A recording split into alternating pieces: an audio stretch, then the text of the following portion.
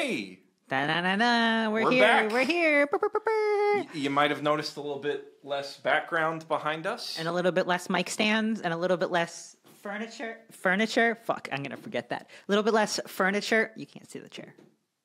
Because we're in Japan. We You're I looked at the- definitely I looked at the monitor, not the camera. whatever. There's going to be a lot of that because we have the jankiest setup ever right now, but we're here on your screen. So that's Yeah. all that matters, right? Yeah, we, we're doing the podcast again. We're going to be doing it regularly. It has taken us about a month to get to it because oh my oh gosh, my god. We went through I went through hell. So much hell. and Absolute I hell. You didn't help make it hell. No, I helped make it survive the hell. hell. You helped Yeah. survive the hell. Um, But yeah, we, yeah. we actually moved end of Mar- March, end of March, Yeah. Um, but we had like a week of hecticness Yeah. trying to get settled because there's so much paperwork and shit to do once you get here and get to our house. And then, quite literally, as soon as we got settled into our house, I got like like the day we were planning to start the recording the podcast. Yeah, I woke up and had a giant, uh, gross morning abscess in my mouth, like on, like in on not on the outside of my mouth, but like on the outside of my gums. There was just this disgusting, painful spot. It was it was rough. Yeah, and um, we went to one dentist who fucking sucked and quite literally traumatized me. Oh my god! Yeah. Um, and, and, and charged out the ass. for doing literally doing nothing, nothing. They put me Literally through so much pain. They they were like, "Oh, we're just gonna look at it, right?" And then they decided on the spot that they were gonna like lance it, but they they said they were gonna irrigate it, and they didn't tell me. I'm so fucking scared of the dentist. You guys have no like. I am so scared of the dentist. I usually like even for like a, a cleaning, I cry because I'm I, and and so I was like, okay, this is you know they're just looking at it, and then they were like, we're gonna irrigate it, which involves fucking poking a hole in it, and they didn't give me a choice. They didn't they didn't warn me. They uh, didn't anything. Like Geoff was in the waiting room and he could hear me crying And and then from the like dental chair. and then the kicker is they didn't actually irrigate it. They just um, they just kind of poked a hole in it. and then gave you antibiotics and that killed mouthwash. me. That killed me. And then Yeah. yeah. they gave me the antibiotics that I wasn't used to, like Japanese antibiotics, and they fucked me up. I was like throwing up. I I couldn't function. I couldn't sleep because they kept me up. Like so after a few days of that, it wasn't getting better or anything. It was getting worse. It was spreading to my ear too. I had like the infection was because it was on this side. It was like spreading up to my ear. Uh, and then we went to the greatest dentist ever. We, we found a really, really good dentist who is so nice, and they switched my antibiotics to um, like amoxicillin, which I'm used to and don't die from. And I found out that I have not one, not two, but three root canals. Woo! And not only that, they were root canals that were already done. By they are- another crappy dentist. They are teeth that already have crowns on them. Three teeth that have crowns on them, uh, reinfected. Yeah. So I, I have just teeth are genetic, right? You're like enamel health and shit is genetic. No matter how good your dental hygiene is, having weak and shitty enamel is is just genetic. Um, and I lost the genetic lottery in that sense. So um, unlike you, you have really good enamel. Yeah, Um, well, you lucky. yeah you you haven't you have like any cavities? You? No, I, I I get them from time to time. I mean, have you ever had any fillings? Yeah. A couple? When I was a kid, yeah. Yeah, exactly. When you were a kid, though, right? when you were no, younger, I, I, but take like, care of my teeth. And but I do too. We take care of our teeth at the, at- to the same degree, right? And mine are. It just sucks. Anyway, um, yeah. So we found out they did like a CT scan of my face, which is crazy. I've never. I didn't even know a dentist could do that, but they had a CT machine there, and they did a CT scan instead of just an X-ray of my face, and they were able to show me like the canals in my teeth.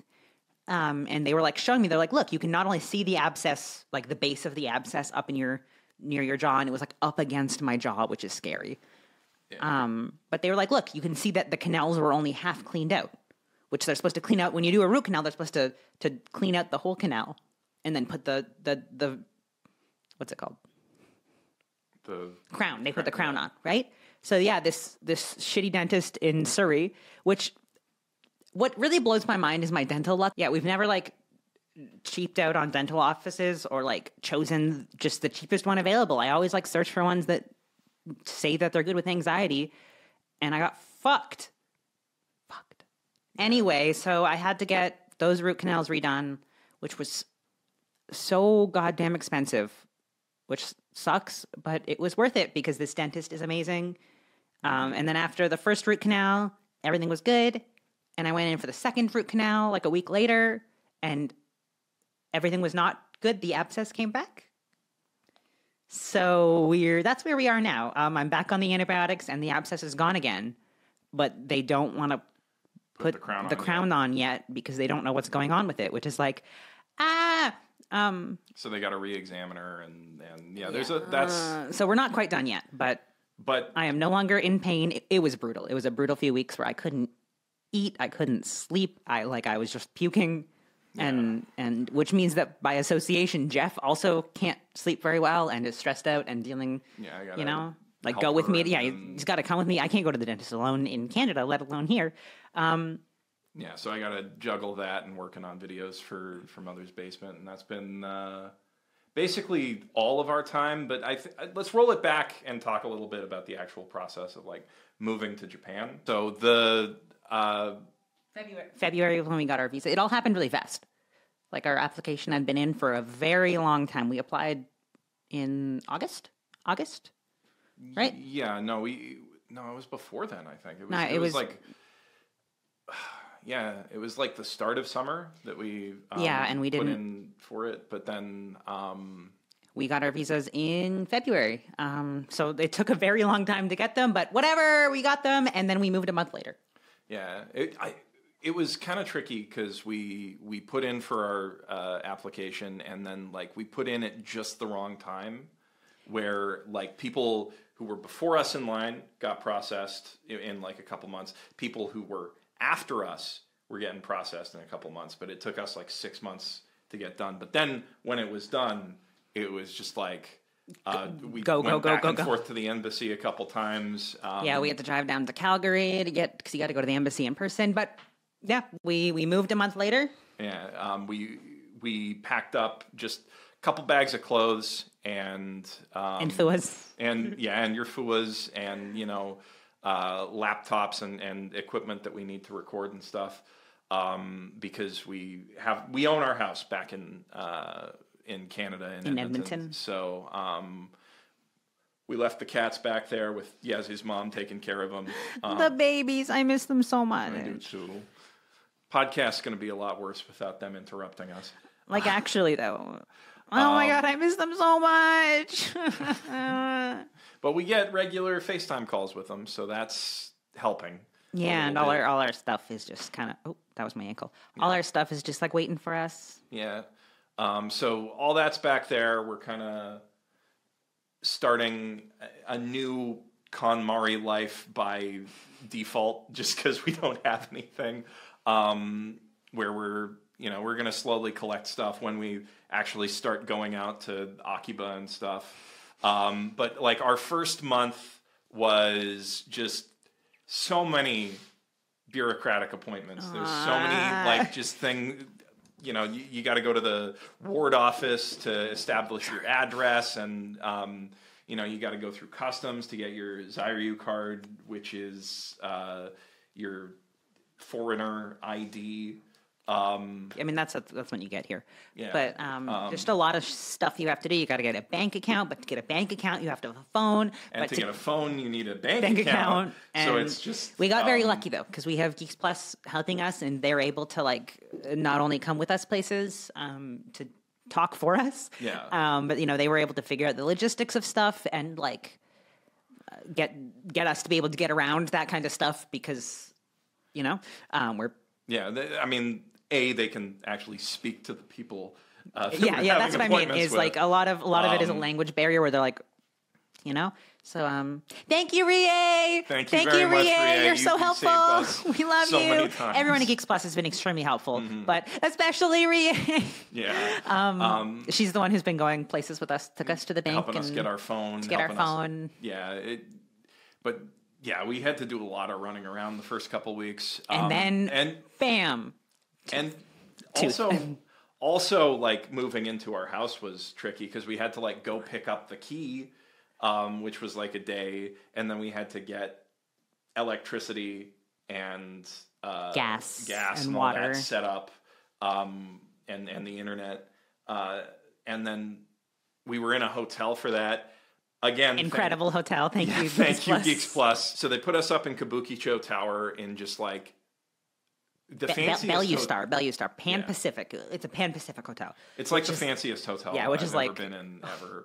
I Um, I could not, but on the first night, I, I got a little bit sick. a little Geoff got like I don't know if it was. I think it was just like travel exhaustion. Yeah, or plus something. I, I yeah, I, I I had some like seaweed chips that were just like the worst combination of greasy and salty. And yeah, when we land, like when we got back, like when we got to the hotel for the very first, like within a few hours of us getting there, um, I poor Geoff.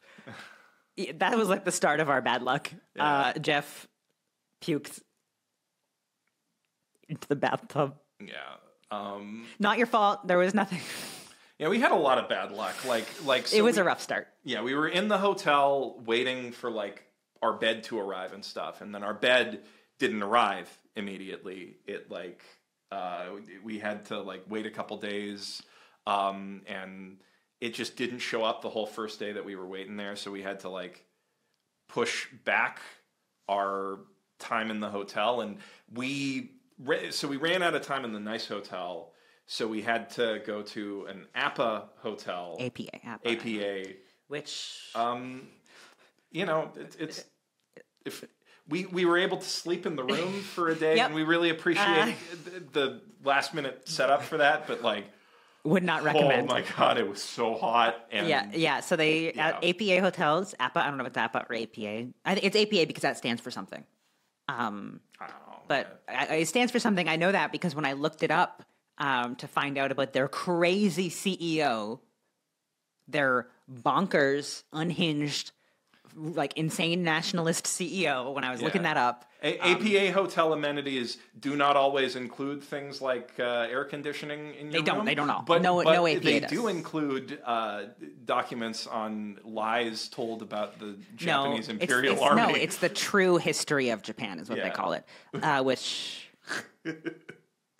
anyway, yeah. So Yeah. no APA hotel has uh, that I've seen that I looked up has um, like temperature control, and they still had the heat on. It was like twenty degrees outside Celsius, and they had the heat on. It was really it was insane, but It whatever. was- and then we got our our place. we got our bed. Um, Koala, if you ever move to Japan, Are One of the only people who sell king mattresses. yeah, and and um, yeah, they're pre- as bed a- in a box goes, pretty good. I would say they, you know, Yeah, I I still prefer a purple back home, but we But could not get that over here. they don't so, sell those in Japan. So. Yeah.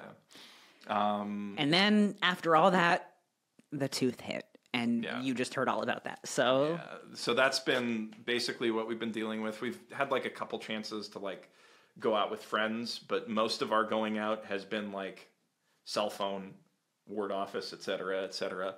Um, sitting around watching anime um, and not anime things to distract Yeah, yeah. ourselves. Cause, yeah, because it- when you're tired and sick, it's hard to watch um, like subtitled stuff sometimes. So. But also, like when you're living here, you just kind of need a break from it a little bit uh, But, more than I mean, that's how you end up. Yeah, not taking a break from it is how you end up burning out. and watching things in two times speed.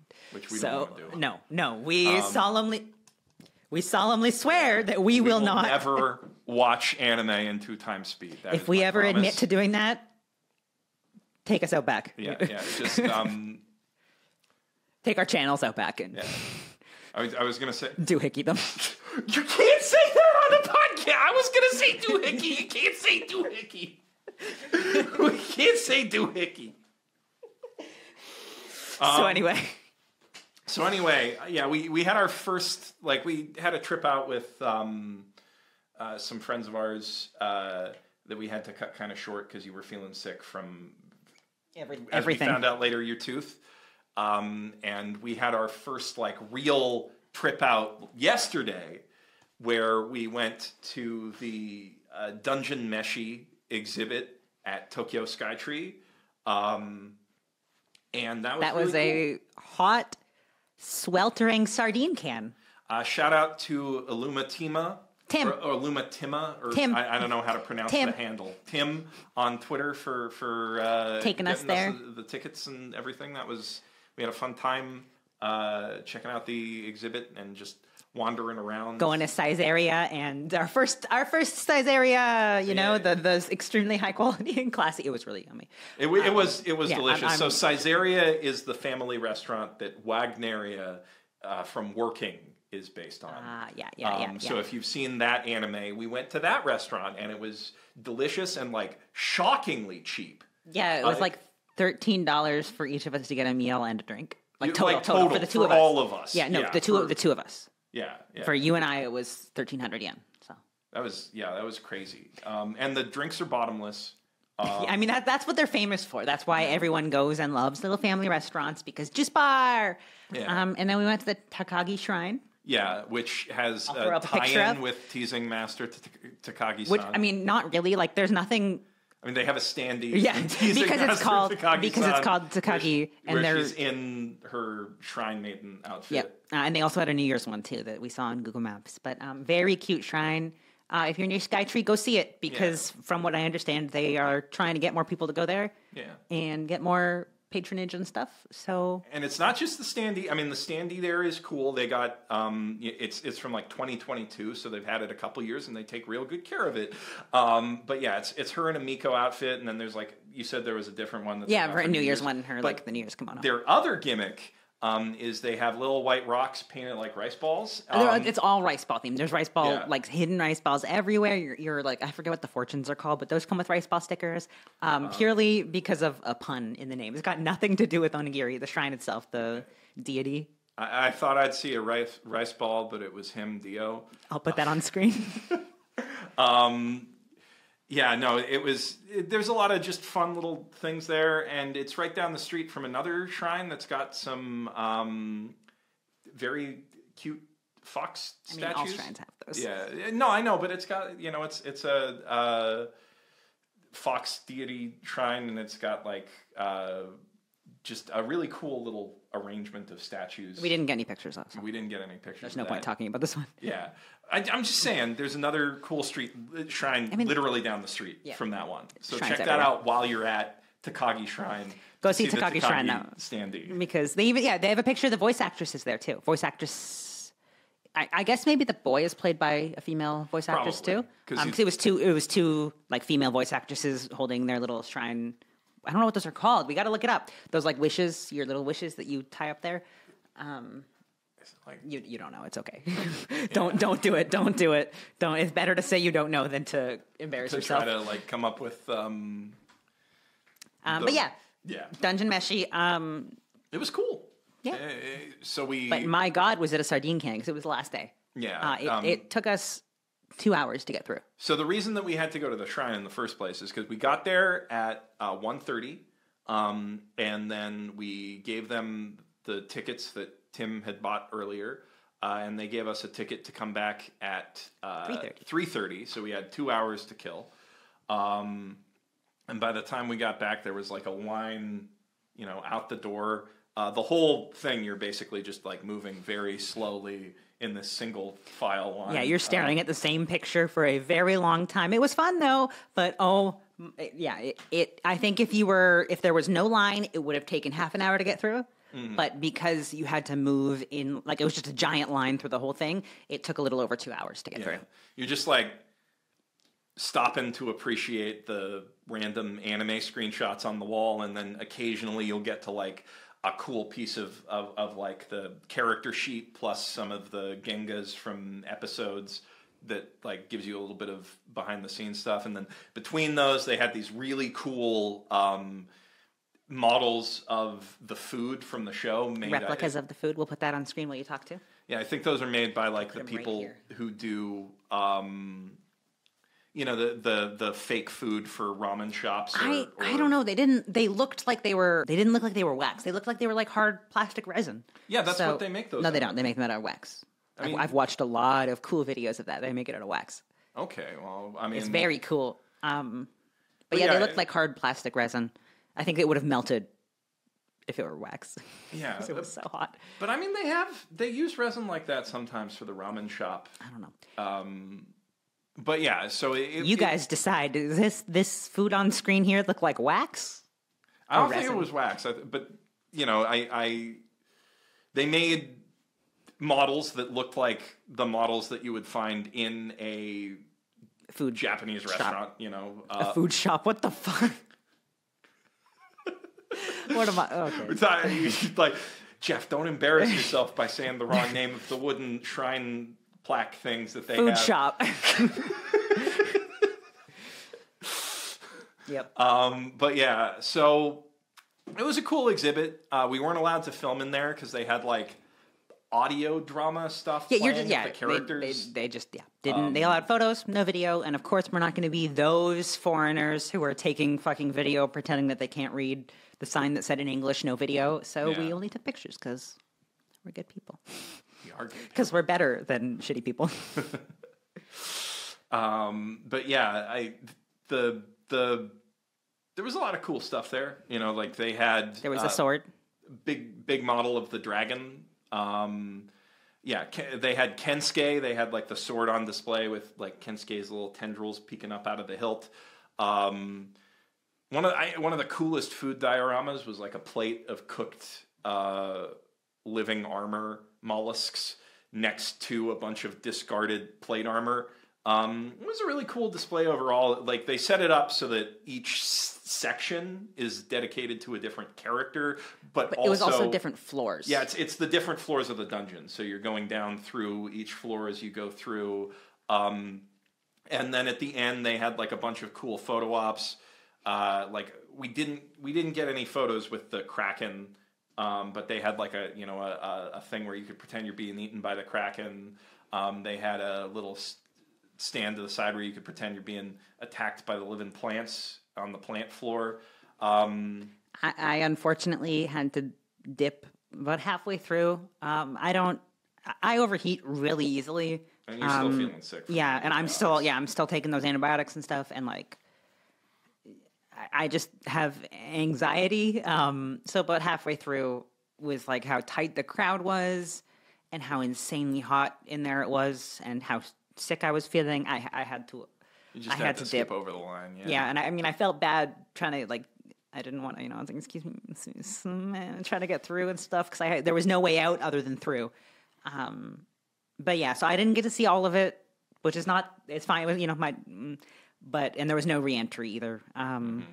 so I yeah, I didn't get to see all of it, but I'm also Yeah. not crazy about Dungeon Meshi. I was there as a plus one. Yeah. So, but yeah, that that's how like hot and and like It- it was- sardine esque it was in there. It was really like basically every room was like a pressure cooker except for the the water floor appropriately. Like you could feel the AC. You the could no, you could. Oh, yeah, I guess I Geoff. was tall Geoff was above the over the walls. walls, yeah, yeah, so um, you could, but that room had flashing lights in it. It had Mm-hmm. like a disco light to make the it seem like you were walking through water, and that just That- that, that- just that- made me feel even more dizzy and, and stressed. But So, yeah, so, other than that, I had fun though. Yeah. I had fun though. I'm not complaining. I had fun, um, for the parts that you saw, and I mean, and I had a nice time sitting outside in the breeze. So you didn't like miss that much because she got through all the stuff showing like real production stills, and the rest was like um, there was a theater where they showed off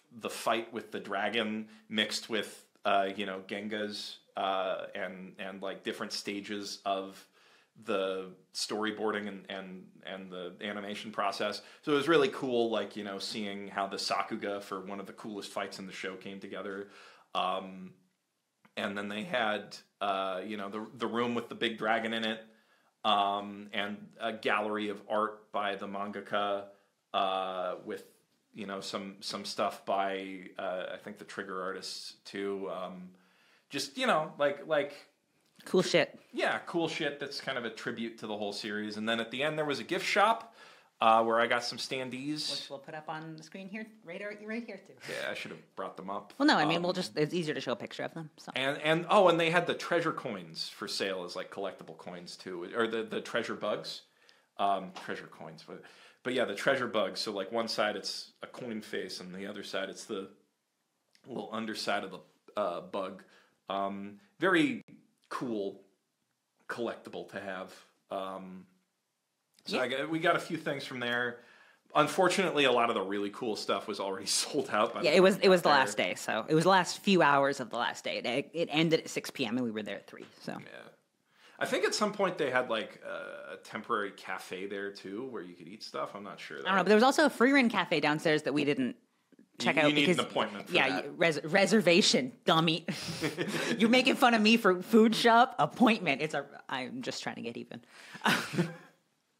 but um, yeah, we just took a little peek at it. There wasn't like, I don't even think there were like cutouts or anything in there. It was just like, it just said Frieren cafe and the food is kind of themed. Yeah. Um, No, they had like standees you could buy. Of no, no, no. But I mean, there weren't like cardboard cutouts like a lot of things have. yeah, You know, no. like they just had like Frieren playing on some videos on the side. And, Yeah.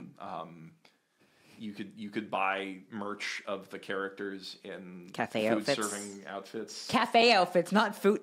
Some of them were I'm trying- chefs and waiters. Damn it, damn it. I'm trying real hard to get even for that food shop. Shame. I'll get Why- you why one you day, smart man. You're- you're I'll get you one day, Mister Word Word Man. Wee woo wee woo. I don't know if it's picking up the um ambulance, but so anyway, that's been Japan. Yeah. We'll have more to talk about next time because hopefully, not to, you know, knock knock, knock on wood, um, that I'm feeling better and it goes away and that this round of antibiotics kills it and it doesn't come back because uh, I don't want to think about that. yeah. So anyway, on to topical shit. Yeah. Um, yeah, and we'll we'll get to all the stuff that we've been watching and playing in bed at the end of the video. We're going to talk about some anime news though, because uh, there's been some in the last week. So, uh, kind of a big deal. Uh, they are don't want to alarm not you. they. I, I don't want. Yeah, I mean, it's not, and it's not just Pixiv. It's a it's uh, Pixiv. DLsite, too. Yeah, DLsite is the Well- but the so not to alarm you, but they are taking away your hentai. Literally and not ironically. Um, Yeah, Um, literally, not ironically. This is not. Yeah. Did I say unironically? Or did I say did I say ironically? No, Literally you and said not ironically. Okay, yeah, un- unironically. unironically. But but this isn't like outrage bait. This is not you know making a, a mole, mountain out of a molehill. molehill out of- making a yeah. Uh, this is not making a mountain out of a molehill. Like somebody tweeted something uh, disrespectful to a hot anime lady, and that's the end of the world. No, this is like Visa and Mastercard. Oh, are- for, for DLsite, yeah. Yeah. Um, I don't think Pixiv is directly related to no, it, it is. No, It- because- it- it's Fanbox. It's No, so no, Pixiv itself, the website. If you are in the, if your country is set to U.S. or U.K., you cannot view R18 art for anything. Not not just Fanbox. That's that's the payment processors for DLsite and Fanbox. But like it's it's more serious than that. If But- you but- if your country is set to the U.S., you cannot view R18 material on Pixiv. But that the reason for that is they're trying to get around Visa and Mastercard restricting what you can pay for in North America. No, it's because of stuff like the Texas law. That means they have you have to send in phone, photo ID for verification. That that's why they're doing it. Is that they're going by the, the same rules. oh okay. It's- right. So it's got nothing to do with, with that one. So D, you are correct about DLsite and Okay. Fanbox though. Yeah, yeah. So Um, yeah, so Fanbox they were limiting like what ty- what tags artists could be paid for through DLsite to like um just a bunch of, you know, tags you're not allowed to do anymore because they're considered And that didn't work. Um, so for a while, yeah, they were like, "Oh, just to appease Visa and Mastercard, don't use all of these suggestive tags." And then, like a month later, they just said, "No more Visa, Mastercard, Amex. It is JCB or whatever JBC, the Japanese bank and convenience store pay only." Mm-hmm. So, so yeah. but the Pixiv ban, um, like the actual their reason, restriction for healthy expression in specific countries and regions. So they said you cannot. So in the U.S., it's posts that contain or depict. Fuck, I can't fucking read. Hold on, I gotta zoom in. oh my god, I'm like an old person. I got I got I got to get my magnified text size on. Um so they just like blanket banned uh like th- things make sense. Okay, so they're doing what Canada did, right? So Canada has a has a customs ban, not a it's not illegal to have, it is illegal to import, as we learned from Metamorphosis. Um, it is it is prohibited to import things that involve um, like uh, degradation, which is a very broad term. Degradation is like an insanely broad term. Um, uh, for some reason, they specify urination as like a thing you can't import. Um, bestiality, which makes sense. Um, but as we saw in that one episode of Border Security, uh, they haven't decided yet if Furries. if furries count. Um, and a couple other things, including but not limited to treason. Um, that was the other thing on the list was treason. I was like, oh, I think that uh, degradation material and treason are two very different things. Yeah. But let's put them all under the same law. Anyway, um, Canada does that as well as Australia, which you guys might remember. Um, Joey. Joey talked about Yeah. that, and it got a very negative response. But he was right.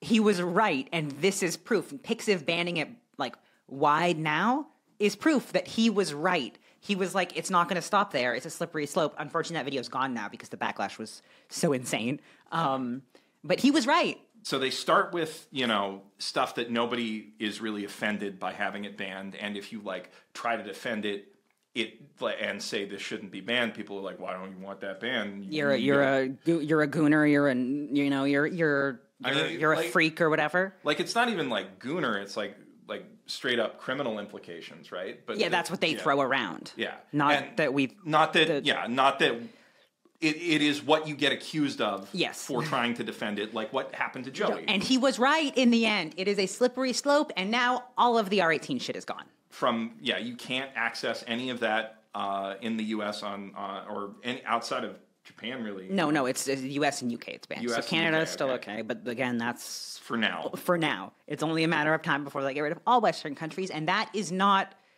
a made up scenario. Yeah, So and yeah, and it's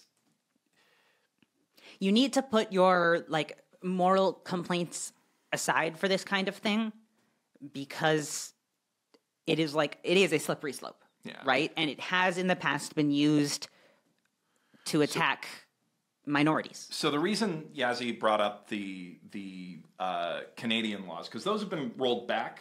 no they have not. No they have not. They have not changed.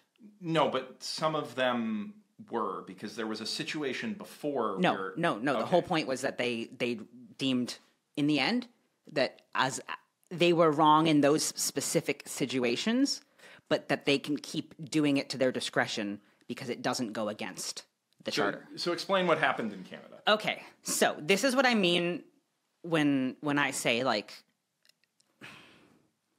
the slippery slope thing is not a what if, right? We're not like making up a fake like oh, but what if they do this? It's happened where in Vancouver. I'm going to pull up the little article, um, but I actually found out about this originally when um, I was researching about my metamorphosis thing. Um, back in 2000, uh, Canada Customs used these obscenity laws to block an LGBT bookstore in Vancouver from receiving their stuff. They would confiscate everything that was seen as obscene while letting non LGBT bookstores bring in their straight material of the same genre.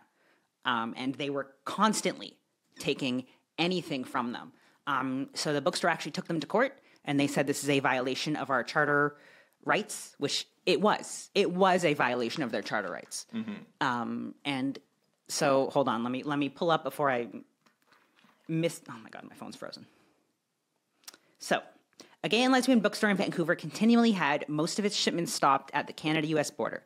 Customs inspectors refused to allow the material to enter Canada, finding it was obscene under the criminal code, which is not true, um, therefore, not allowed to be imported under the Customs Act.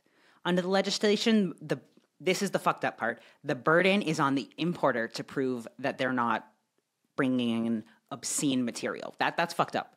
that they just take it and then they're like, okay, but you have to prove to us that we're not supposed to take it from you. Mm-hmm. That's crazy to me. That's crazy. But anyway, the bookstore challenged the constitutionality, big word, of the customs legislation. The trial judge found that customs officials had systematically targeted the store's shipments and wrongfully prohibited their entry into Canada.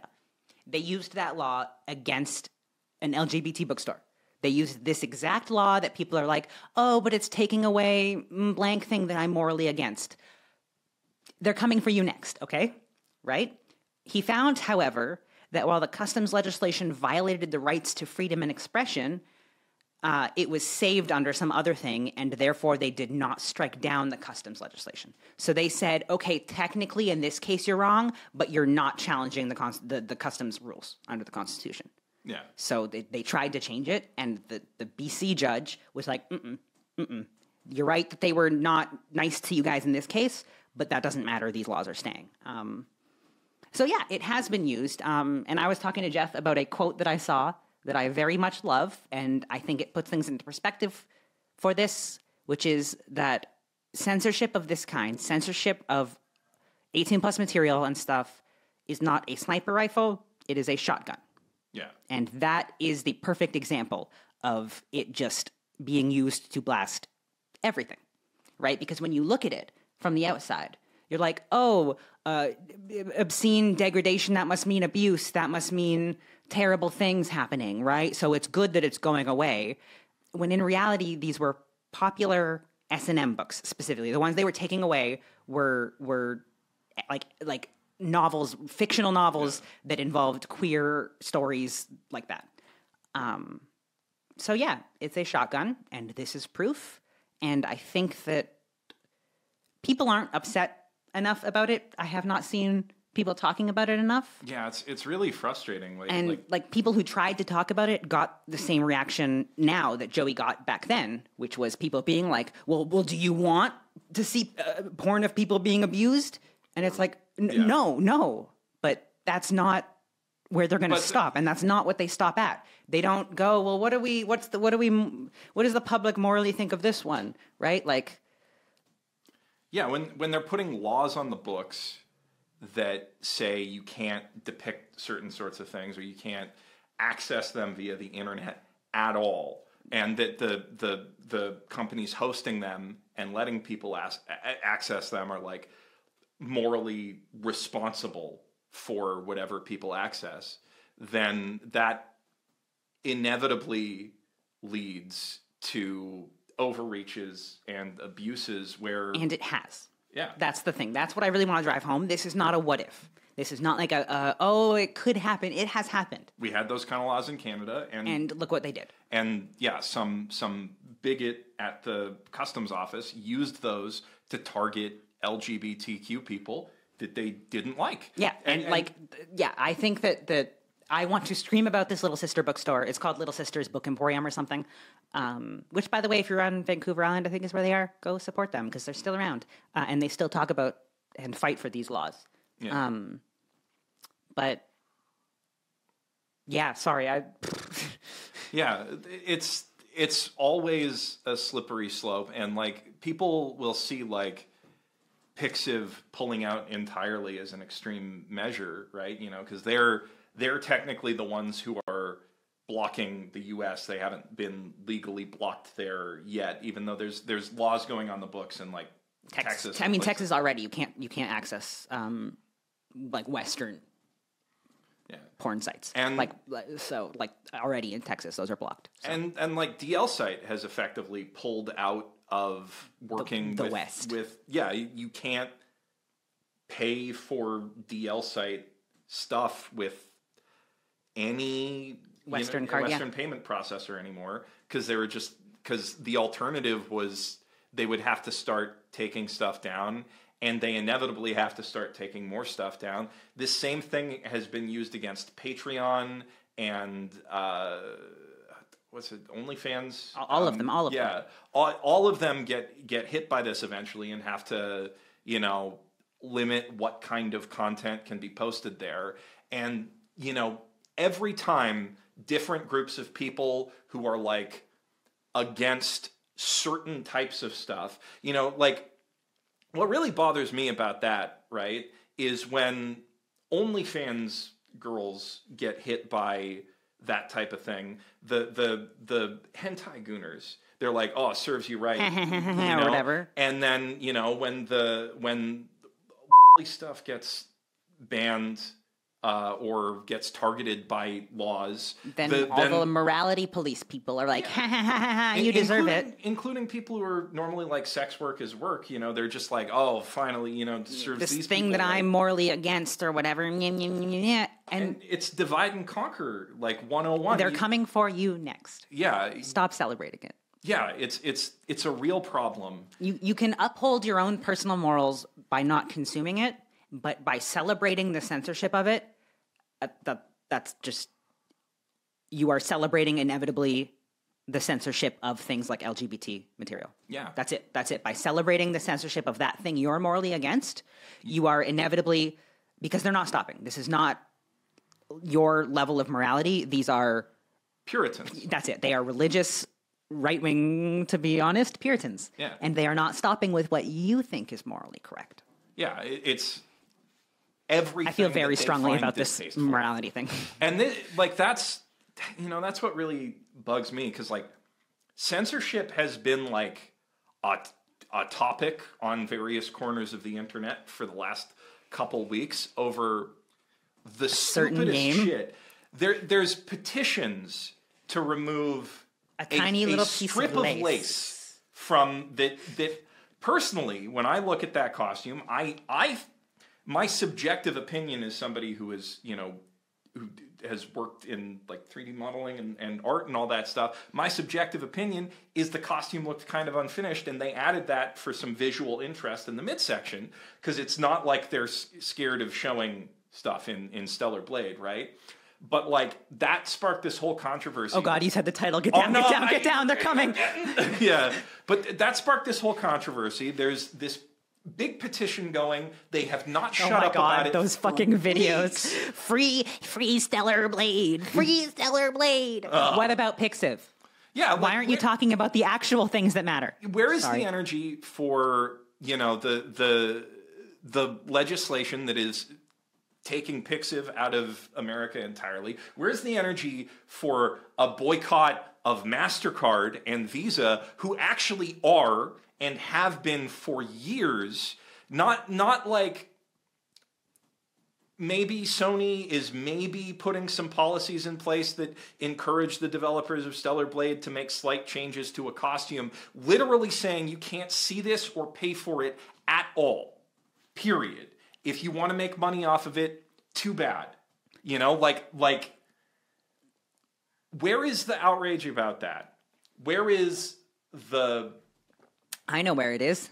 Non existent, because as we've discussed before, these people don't actually give a shit. Um, they are just having a culture war? they are just professional culture war argument people. They're just people who want something to argue about. And I think the lack of uproar and the fact that everybody moved past the Pixiv thing so fast is kind of proof of that. Yeah, no, for real. I, None of these people actually give a shit about true censorship of like non-Western media. Like, like the ridiculous thing is, like, I guarantee that because I said that thing about the the small strip of lace, somebody is going to be down in the comments being like, any amount of censorship is too much. You you can't defend that. While at the same time, where's the fucking petition about Mastercard? Where's the petition about these fucking Texas Republicans saying what you can and can't fap to? What- Where's the petition for that? Yeah. Where is the outrage for that? Of course, I mean with the with the Texas guys especially, it's because they're on your side, right? They they're not, you know, it's it's so transparent, right? That they don't actually give a shit what they give a shit about. That you know they they act like some random Kotaku journalist having an opinion on, an, I will say, a kind of annoying opinion on whether you know it's it's okay to be horny for Eve from Stellar Blade, but it's not okay. Or, or no, it's it, it Hades. okay to be horny for Aphrodite from Hades, but it's not okay to be horny for Eve from Stellar Blade. That's that's like Yeah. weird. That's Y'all I, are- I don't agree with that. Y'all are fucking stupid for starting this argument that way. Fuck. But but that's not like a societal problem that is ca- leading to like Weeks actual censorship, reducing people's access to things. and weeks of arguments. Yeah. Weeks. People have moved on from Pixiv, right? Yeah. Whereas they've gone on about this fucking game for weeks. for Like, Where's where's the ten videos per day about Pixiv? Where's the ten videos per day about Mastercard and Visa? Well, I mean, things? it's because Mastercard and Visa aren't tweeting back at them and giving them stuff to, to make. I was canceled on Twitter oh my videos god about or whatever. i think know. can i can i just say this um, and i'm sorry if this hurts people's feelings but the people who are arguing with the stellar blade crowd who are screenshotting their tweets to make fun of them are just as bad because the only reason this conversation is still going is because they're getting attention Well, I wouldn't say just as bad. okay sorry they- not just as bad but they are fanning the flames nonstop Yeah, they are like they are contributing to it. But like the thing is, what these people go after shows what they're really interested in, which is starting arguments and like tr- attacking people they see as their ideological enemies and just being in this constant state of culture warfare. And it doesn't matter really what the topic is, as long as somebody pushes back against them, right? Like they are the, oh go ahead they are what? as i dare say tourists Yeah, no, for real. Because they like this week it's Stellar Blade. last few weeks because people won't shut the fuck up. I mean, they go back and forth, right? Like for the last few weeks it was Stellar Blade, right? But then for a while, all of these people, many of whom have never painted a miniature or played a war game in their life, were suddenly the most passionate Warhammer fans ever because they put ladies in the Custodes, which is like I mean, you can you can go to Twitter, you can see actual Warhammer fans dunking on these people like crazy because they say say stuff like Games Workshop gaslit us by by claiming that this was always the case when that's how they've handled every retcon that they've ever done. And I say this as I'm not going to be a tourist. I'm a fucking Warhammer casual. I had a friend Beyond who- casual. yeah, I, I had a friend who was really into Warhammer. Um, we played some uh, uh, blanking on the Whatever. not Rogue Trader, the other tabletop role playing game um, where you play the Inquis- the Inquisition. We played some some Warhammer Inquisition tabletop together.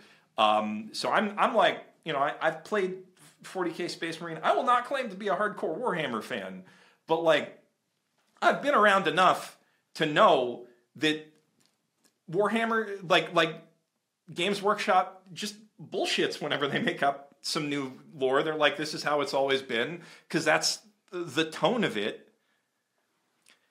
But, you know, the, these people are constantly exposing them themselves as, as not knowing a thing about what they're talking about. And they just want to argue. And they just want to argue. And, like, the thing is, it's just- all the same people on They just want to be victims specifically. Yeah. It's not that they want to argue as much as they want to be victims in every situation. We're victims of censorship, you know?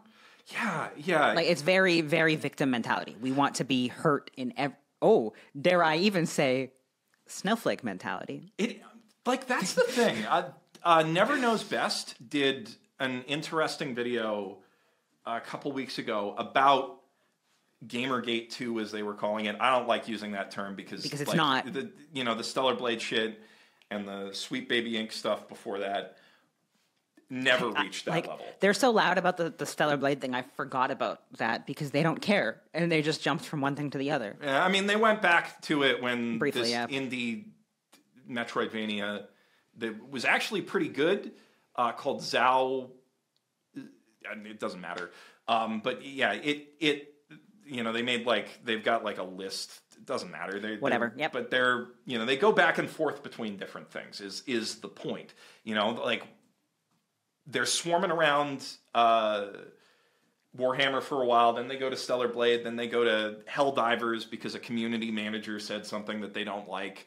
Um, and then, you know, like a couple weeks ago, it was the Capcom localization tweet where they explained how localization works. And like, I mean, bunch.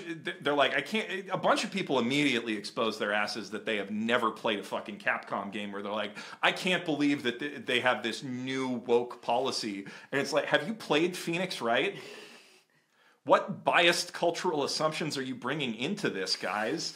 Um, you got to check those because, like, Phoenix Wright made up an entire alternate history for Los Angeles to to, Don't to you mean Japanifornia? yeah Japanifornia to to like Make it work. yeah and, and like they they descended on that like a swarm of vultures and it's Ac- Actually, we've never talked about this, but don't you remember they didn't bring over the um, Sherlock Holmes one for a long time because it couldn't be properly localized?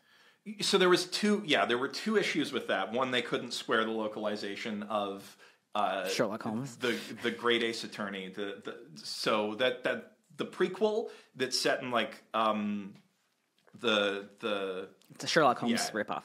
I mean well no Not Sherlock, really. Hol- Sherlock Holmes inspired kind of thing. Sherlock Holmes is in it. They go to London for part of it, but it's a prequel that's set in the Meiji period, I think, um, where uh, you know it's it's Phoenix Wright's ancestor who is also an attorney. Um, doing attorney stuff in ancient Japan, and there were two problems. One, it was difficult to localize, and they had to, you know, figure out how to square it with what they'd already done with the lore. Because you know, when they when they localized the first five Ace Attorney games, they'd have no idea. They had no idea they were going to do this prequel. Um, but two, they had uh, to um, the the Arthur Conan Doyle estate is extremely litigious oh about anything referencing Sherlock Holmes. I- this podcast might get taken down. No, we no, not name. no. It's it's making like actual like you making material out of it. I hate those motherfuckers. By the way, yeah. I I I hate those motherfuckers. Greedy, greedy fucks. They are so greedy. That's it. Bottom Yeah. text. Bottom They're so text, greedy. Yeah. I mean, They're yeah. That's it. They're just so fucking greedy. There, there are Anyway, sorry, you- things I despise more than like the families of great artists who just like ride on the coattails of that artist for generations. Yep. Um, Specifically via blocking everybody from being able to create with it. Anyway, it's just yeah, that that like kept I don't know. That just you made me think of that when you Yeah. were talking about their localization choices. They they care about that stuff, right? Yeah. Like like Capcom localization team legitimately is one of the best in the business and I like it's there were people saying, "Oh, you can't pander to your non-existent audience, uh, to this non-existent audience for their non-existent money." Meanwhile, if you go check out the YouTube pages of the people complaining about this stuff, they started talking about Japanese games nine months ago when when the when the like you know uh, Japan is superior because they let us cum to games thing first became like a, a thing. And before that, all they fucking talk about is superhero games and Madden and Call of Duty. They're the fucking frat boy douchebags that we weebs have been, you know, ha- have been in opposition to since the PS2 days when we knew that Persona was better than than fucking Madden or whatever. The the gamers of actual taste, and now they're pretending like they're actually part of this fandom when they've probably never picked up one of these games in their lives. Um, Yeah. and, and it's it it's you know it's frustrating. It's really frustrating because they they like go after localizers for trying to appeal to the sensitivities of of different markets and trying to like get as much money for the product they're selling as possible, which is what all localization boils down to. Like if you think people are localizing stuff with a political agenda, there are a few cases where that is true. why did you do that, Jello Apocalypse? Absolutely one of the stupidest things ever.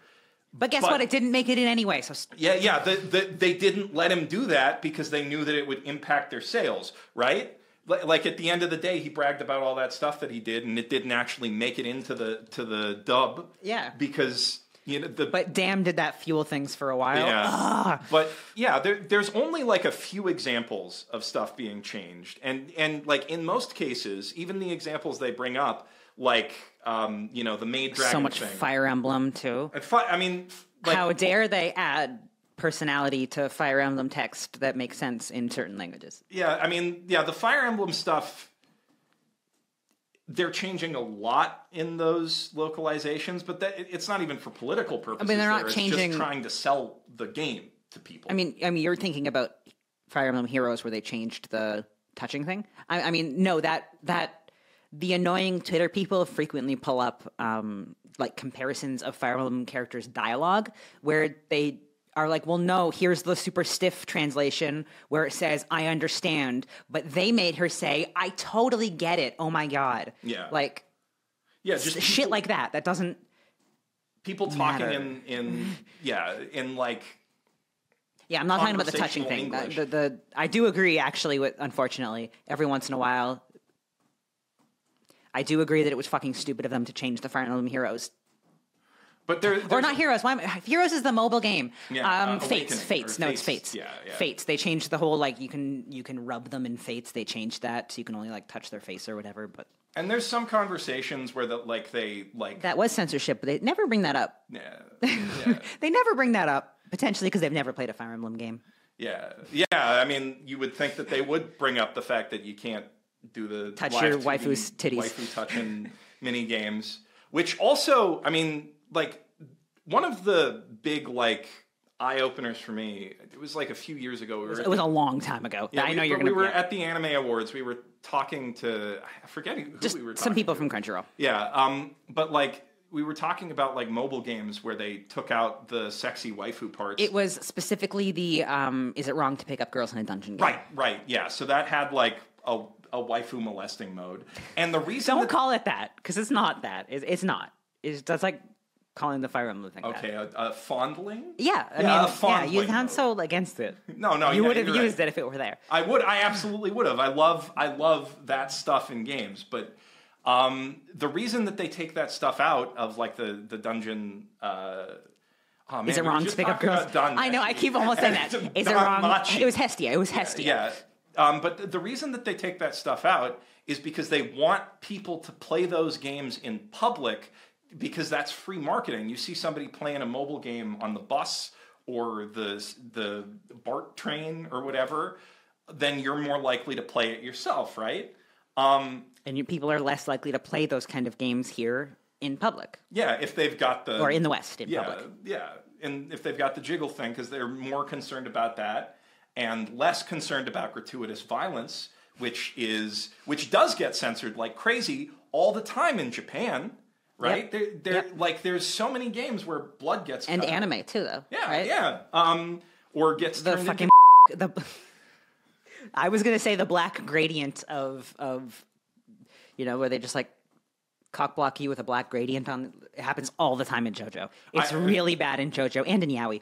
I was just gonna say Seven Deadly Sins Or that. Yeah. Oh yeah, yeah, yeah. Where it's like very. It's, it's That's different. That's- literally that's- just.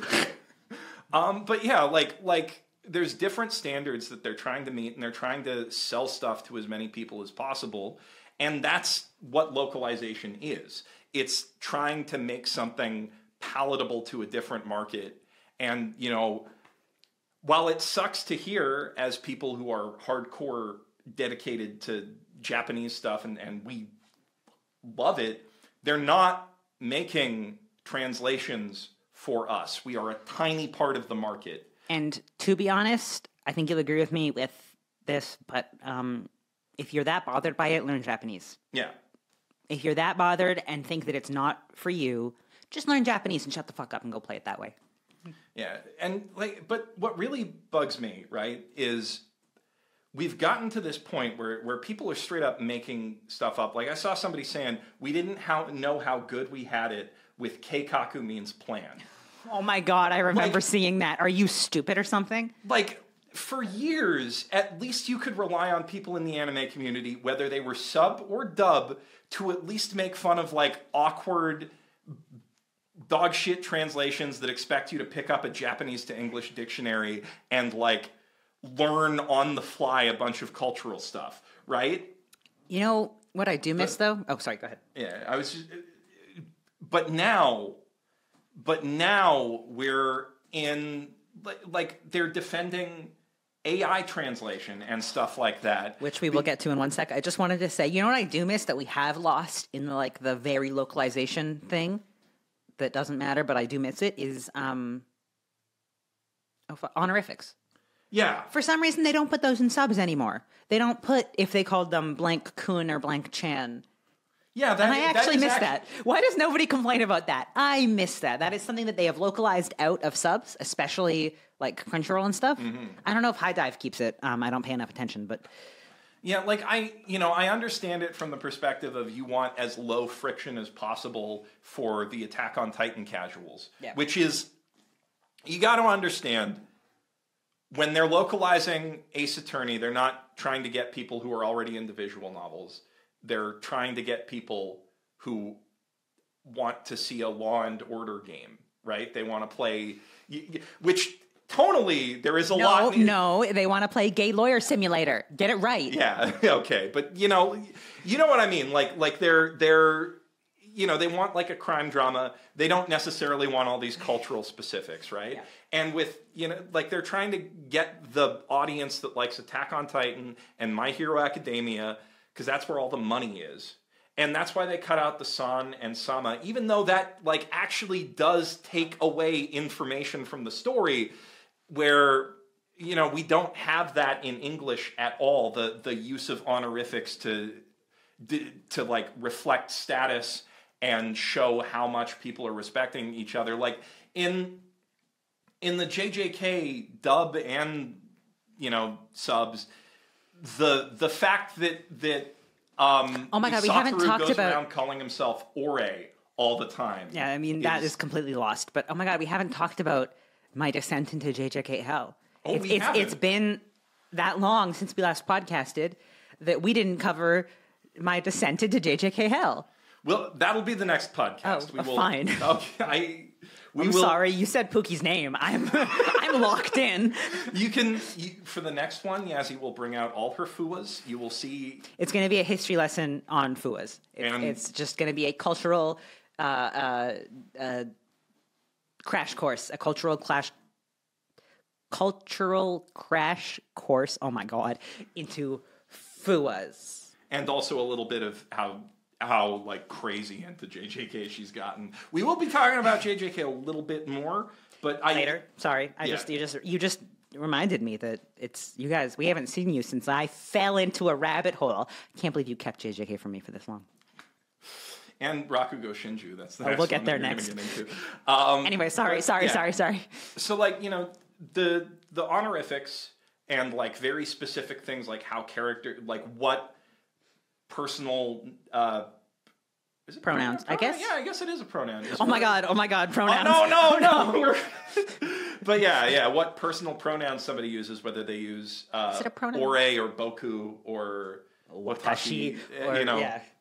that stuff does get lost and that is interesting but it's not as interesting to the again the attack on titan casual casuals, yeah. audience as uh, you know people getting punched through a wall and um, In the end, that's where the money is, and that's where the user growth is. Yeah. is those huge, those making Yeah. those series as user friendly as possible. yeah and you know everything's got to be growing all the time you know Yeah, you exactly. can't just serve a niche audience you got to show your shareholders that you're making more money year over year um, and That's know, how good things go to die. By the way, yeah that is how good things go to die investors is where good artistic things go to die. Yeah, yeah. Investment ruins everything. It's true. True. Um, but yeah, so so like that's the actual issue. The the people putting a political agenda into stuff one way or another is extremely minor. And, but it's all it's all people talk about with any of this shit.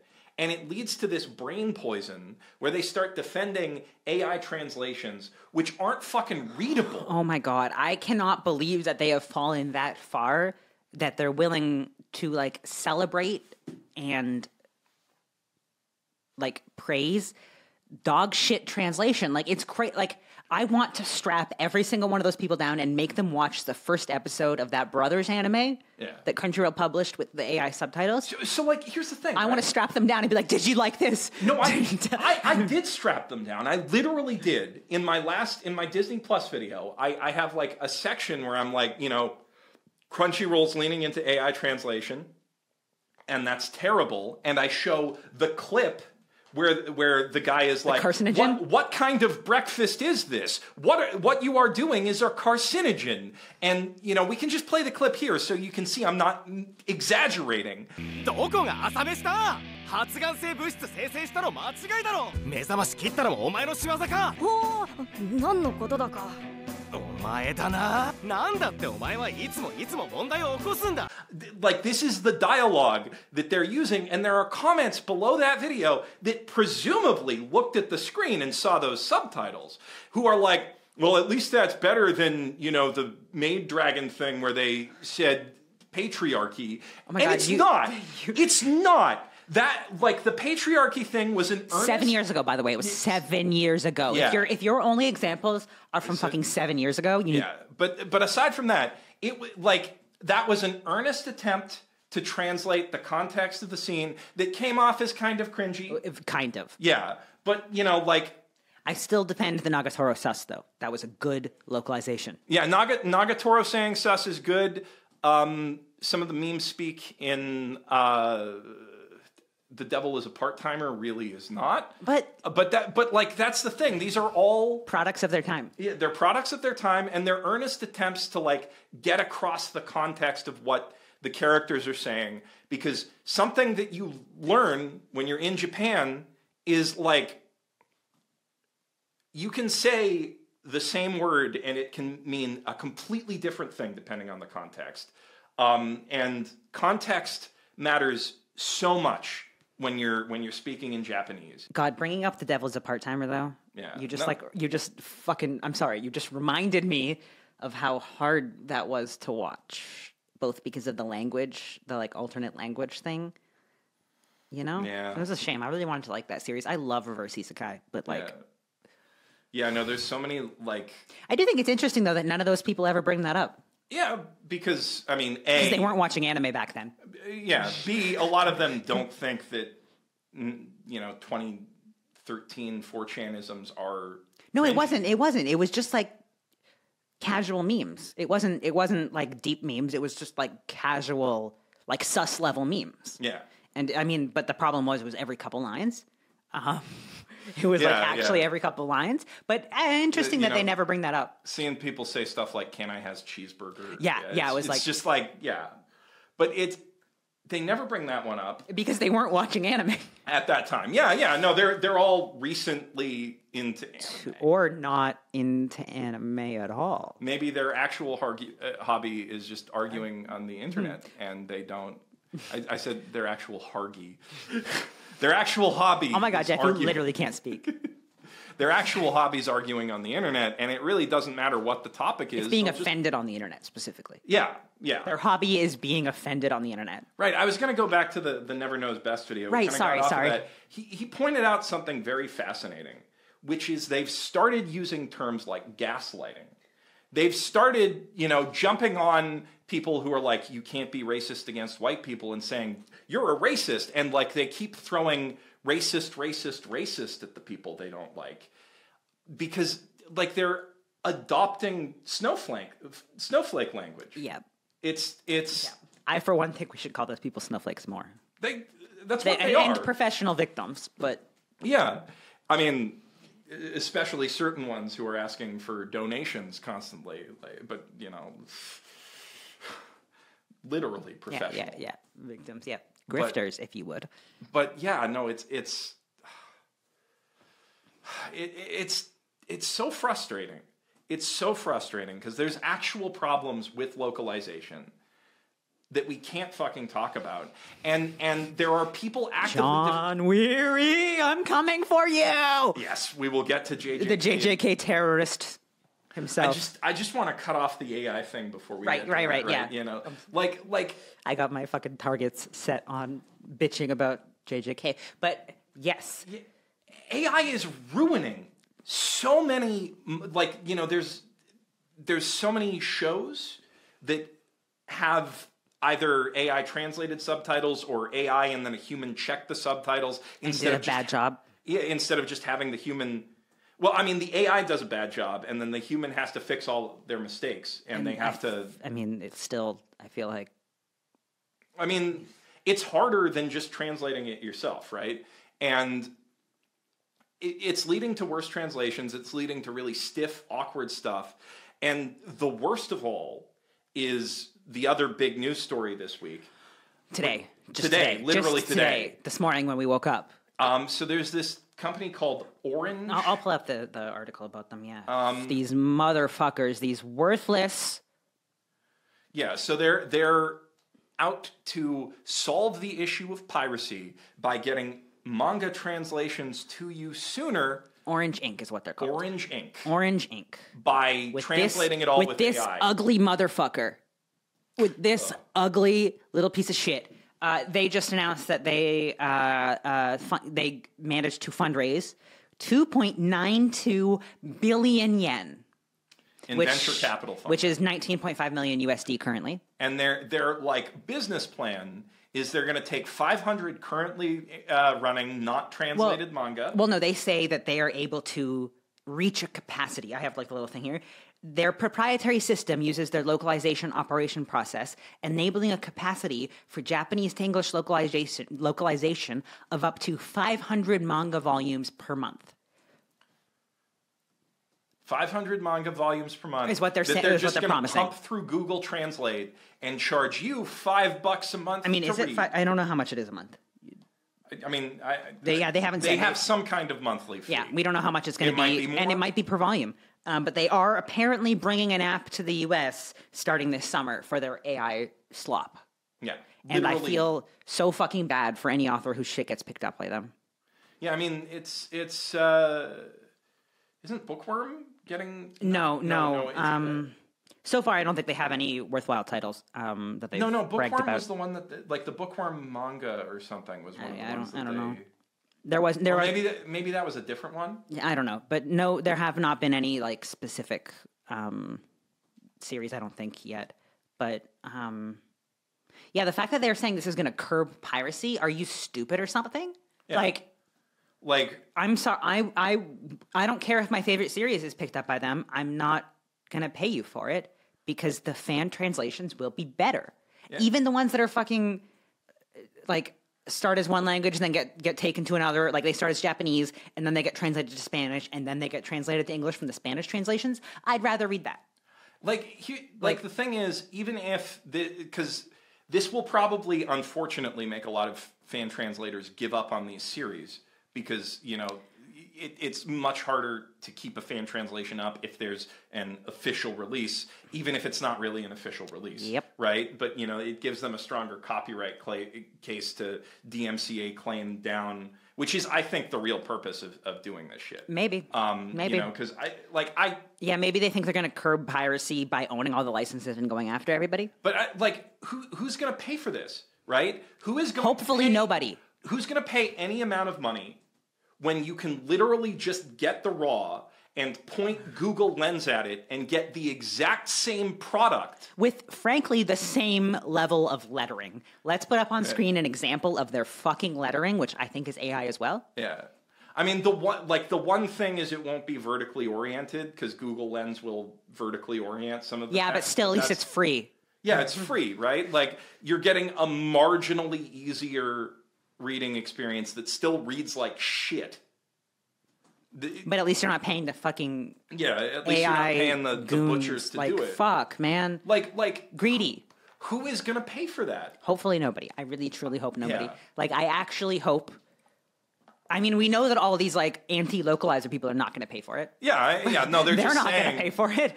And hopefully read manga. Yeah, hopefully anybody with any level of intelligence won't pay for it because they'll realize that they're wasting their money. Like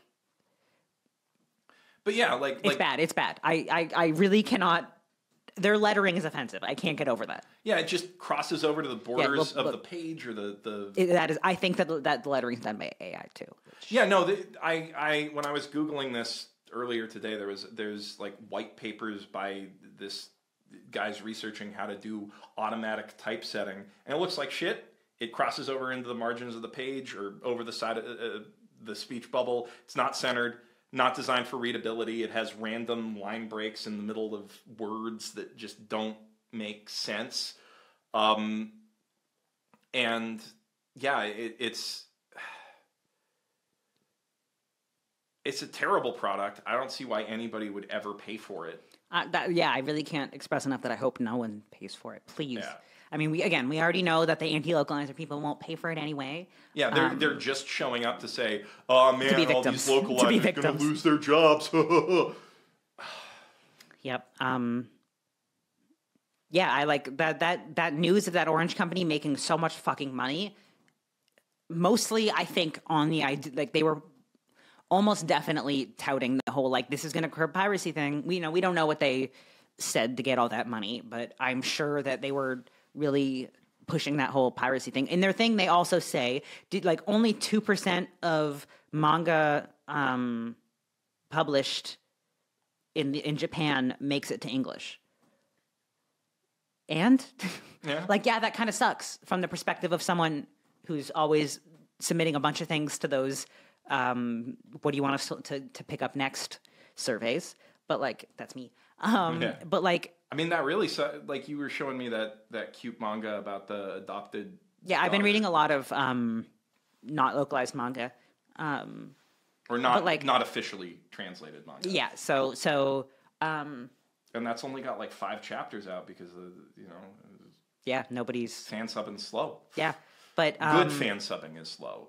Dog shit AI translation is fast, and you can get it But for free. frankly, again, I'd rather I'd rather read fan translations that use like machine translation yeah, because at least then nobody's Paying making any it. money. Yeah. Yeah, yeah. Like at least yeah, at least then I'm not paying for it. You know, of course I would prefer not to read that stuff, but like if you if you're not going to get an alternative because all the localizers are losing their jobs and we're not getting good translations of manga anymore, maybe you'll have to. Mm-hmm. Like that's that's the really depressing thought. it's grim. right? It's fucking grim. It is. It because like it's not like you're going to get you know to the anti-localizer people who do read manga because they're I, you know Yeah, I- we can't of- discredit that some of these people not do. some of them are not tourists, right? They're they're the people who were going on a lot of the people who were going on, on about Warhammer last week and Stellar Blade the week before and Capcom the week before that are right, but you know they are doing that tourist thing to bring in people from each fandom to their like ideological bubble. And like i need you to understand if you're somebody who's like upset about the dragon maid thing in the grand scheme of things what you are doing is a carcinogen being the default for fucking all of our subtitles is so much worse Yeah, that was yeah. and and anybody who's telling you otherwise definitely does not watch anime or read manga. Straight up. Yeah. I'm gonna say that. Yeah. Like like they're only interested in internet arguments and scoring points. And being a victim, yeah. And and being a dumb crybaby victim, loser, idiot, dumbass. being a cry bully. That's No, cry baby. cry no cry bully. cry baby. They don't. They're, they're babies. They babies. But they they weaponize That would hurt their feelings. Yeah, They, that would hurt their feelings. Let's call them babies. they are they are little babies. Little cry babies. No, little cry babies. But they you know they they Little cry babies who refuse to learn a language that would rather be cry babies. Yeah. And and also just Yeah, if you care that much, learn Japanese and do the translations yourself for your purist group. And don't interfere with efforts to give people readable, watchable, enjoyable translated media because they don't want to have to go through learning Japanese. That's like that's the thing, right? You know, when people say keikaku means plan, we had it so good. That's like do you want to go back and forth to a Japanese to English dictionary Or have to- twenty times in or the have middle to of pause it, an episode. or have That's to pause it, pause it to read whatever the little note at the top is. Yeah, yeah. Because you can't a- read the sub and the note at the top. Yeah, pause it to read the annotation like 20, 20 times in the middle of an episode. Is that a better way to experience Maid Dragon than like mostly good jokes and then at kinda one point cringe line. says patriarchy? She says something kind of cringe. like would you rather be able to understand what they're saying Would you rather breakfast be a carcinogen or have to hear a cringe joke once? yeah yeah yeah like it's Oh my god. This is off topic, but I just I'm I am so sorry. I just realized I think I have spent about 75% of this podcast looking up here. My bad. you keep doing i i trained myself to not do it like I, I I just I see myself and I'm like, "Oh, that's me." Anyway, sorry. Okay, so I mean, it's kind of hard to rant without Yazy here, but yeah, it's just very, very frustrating to see people out there acting like this garbage. Please put example of AI translated garbage is in any way comparable to even the worst localizations. And like you gotta understand accuracy has never been the top priority and it's not going to be because they're trying to reach normies not enthusiasts the enthusiasts are a captured market and most of us have already decided if we're going to pirate or we're going to go to official sources and the only thing that's going to drive us away from official sources is if the translation quality dips like fucking crazy and stuff becomes unwatchable. But the the casual viewer who got into anime through Attack on Titan doesn't care. They just want to watch something that they can enjoy without having to think too much about it. But yeah, so when I when I think back to you know when I was when I was a Wii gamer, uh, playing JRPGs on PS One, um, and later you know GameCube, Dreamcast, stuff like that.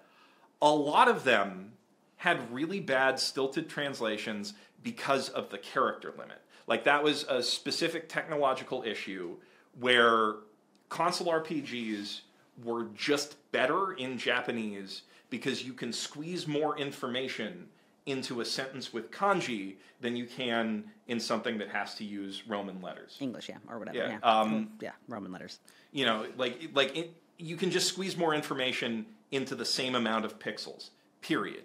And for several generations, there was this back and forth with having to compromise on either the accuracy of the translation or giving it actual personality.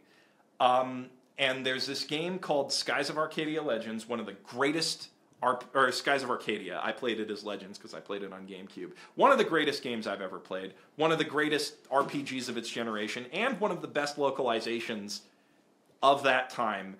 It's just got so much personality in the text, very enjoyable to read. And the way that they made it was they took the scripts in Japanese, they got the gist of what the characters were saying, and then they threw out the literal translations and rescripted it to make sense within the animation of the cutscene and have like a good natural flow in English. And if you play that and play almost any PS1 RPG translated by Squaresoft, the difference is night and day. You know, like it it's it's so much more readable. It's got so much more personality. And while I would very much like to now that we don't have those those strict limits of how many characters you can fit into a text box, while I would very much like to now see a version of Skies of Arcadia where they don't translate the the wine that everybody's drinking is made up magic fruit juice because they don't want to they don't want to get They don't wanna up their M rating? Yeah, yeah, exactly. Like while I would very much like that, when I'm playing retro games, I absolutely prefer that looser approach to something more accurate. And if I'm gonna to get the accurate experience, I think I'm just gonna learn Japanese over here. Um, If we have time, yeah. Hopefully, we have time soon. We will. I mean, we will. I mean, we haven't, but you know. um, I, I, we, we've, we're about an hour and a half in, so I do think we should uh, switch gears a bit because we're kind of go getting to the point of circles. Um, yeah, so But- I, I just wanted to hit on one last thing about translation, which is the actual problem that we were going to talk about right before you left, which Well, is no, I, we'll do that in a second. I mean, what I mean is we'll, we'll do that in a second. I want to have a little intermission story time. If you could hold my microphone for me okay. Carefully, you can't wobble it. So, I have a quick story time. I have to. I'm going to eat a rice ball because I haven't eaten yet today. I got distracted earlier, and I haven't. I haven't eaten yet today, and them antibiotics are fucking with my tummy, so I got to get some food in them. Anyway, I have to tell you guys a story. So to open rice balls, if you never have, right, the convenience store rice balls, you like pull this tab. It's hard to do on camera, and you bring this up. I ripped it a bit, and then you like pull off each side. I'm not going to do it on camera because sometimes I fuck it up. Oh, that side worked, and then you pull off. Oh, that side ripped. Whatever, and then you have a rice ball and then you have a rice ball where the, the seaweed was not touching the rice, so it's not soggy. The very first time I had one of these was on my exchange trip when I was uh, like 16 years old, 15 years old. Uh, my host family picked me up from the airport, and we were driving back, and they're like, "Hey, let's stop for snacks at the convenience store." I picked up one of the fabled Japanese rice balls, and I opened it by taking off the sticker, fully unwrapping it, taking the piece of rice, setting it aside, and like tearing open the packaging. Not the way you're supposed to do it, right? I really complicated it. I really struggled because it's not made to be open that way. And they just sat there and watched me. they didn't say shit. They just sat at the table being like, yep. Anyway, that's my story. That's your story. That's my story about how it's got a very easy three step system to open it, very clever. And I unwrapped it. It took me a good two minutes to unwrap, and they didn't say shit. Keep talking. Um, yeah. Uh, you just reminded me of something I wanted to talk about in our move to Japan because I wanted to give some people pro tips because there was one other thing that happened. Oh my god. Um, and I don't, I don't want to talk about this, but It's you important. talked about all your medical issues. I should talk about mine. um, like a couple weeks into our move, I got extremely, painfully constipated. I, I was Hank Hill. I was no, I wasn't Hank Hill. No, no, no. Um, but just like there's no fucking fiber in, in the food here, and you have IBS, so bad combo. Yeah, that was that So, was not um, good. if- Um, if so you've I had gotta- take a magnesium pill to to get. Yeah, but also like you've now picked up Fibe-Mini. Yeah, this is this is my number one pro tip for anyone moving or live on a longer trip to Japan. Yeah, even a couple weeks. Um, Yeah. If you got one of them sensitive tummies, If you got a sensitive tummy, pick up Fibe-Mini or Coke Plus, which is like Coke Zero but with an added fiber supplement. Um, it'll save Don't- your life. don't end up like Jeff. Yeah. The the diet here is very different and rice does not give you the kind of fiber that you need to pass all the rice that you're eating. Um, So anyway, yeah. Just just an important tip. Um, very important.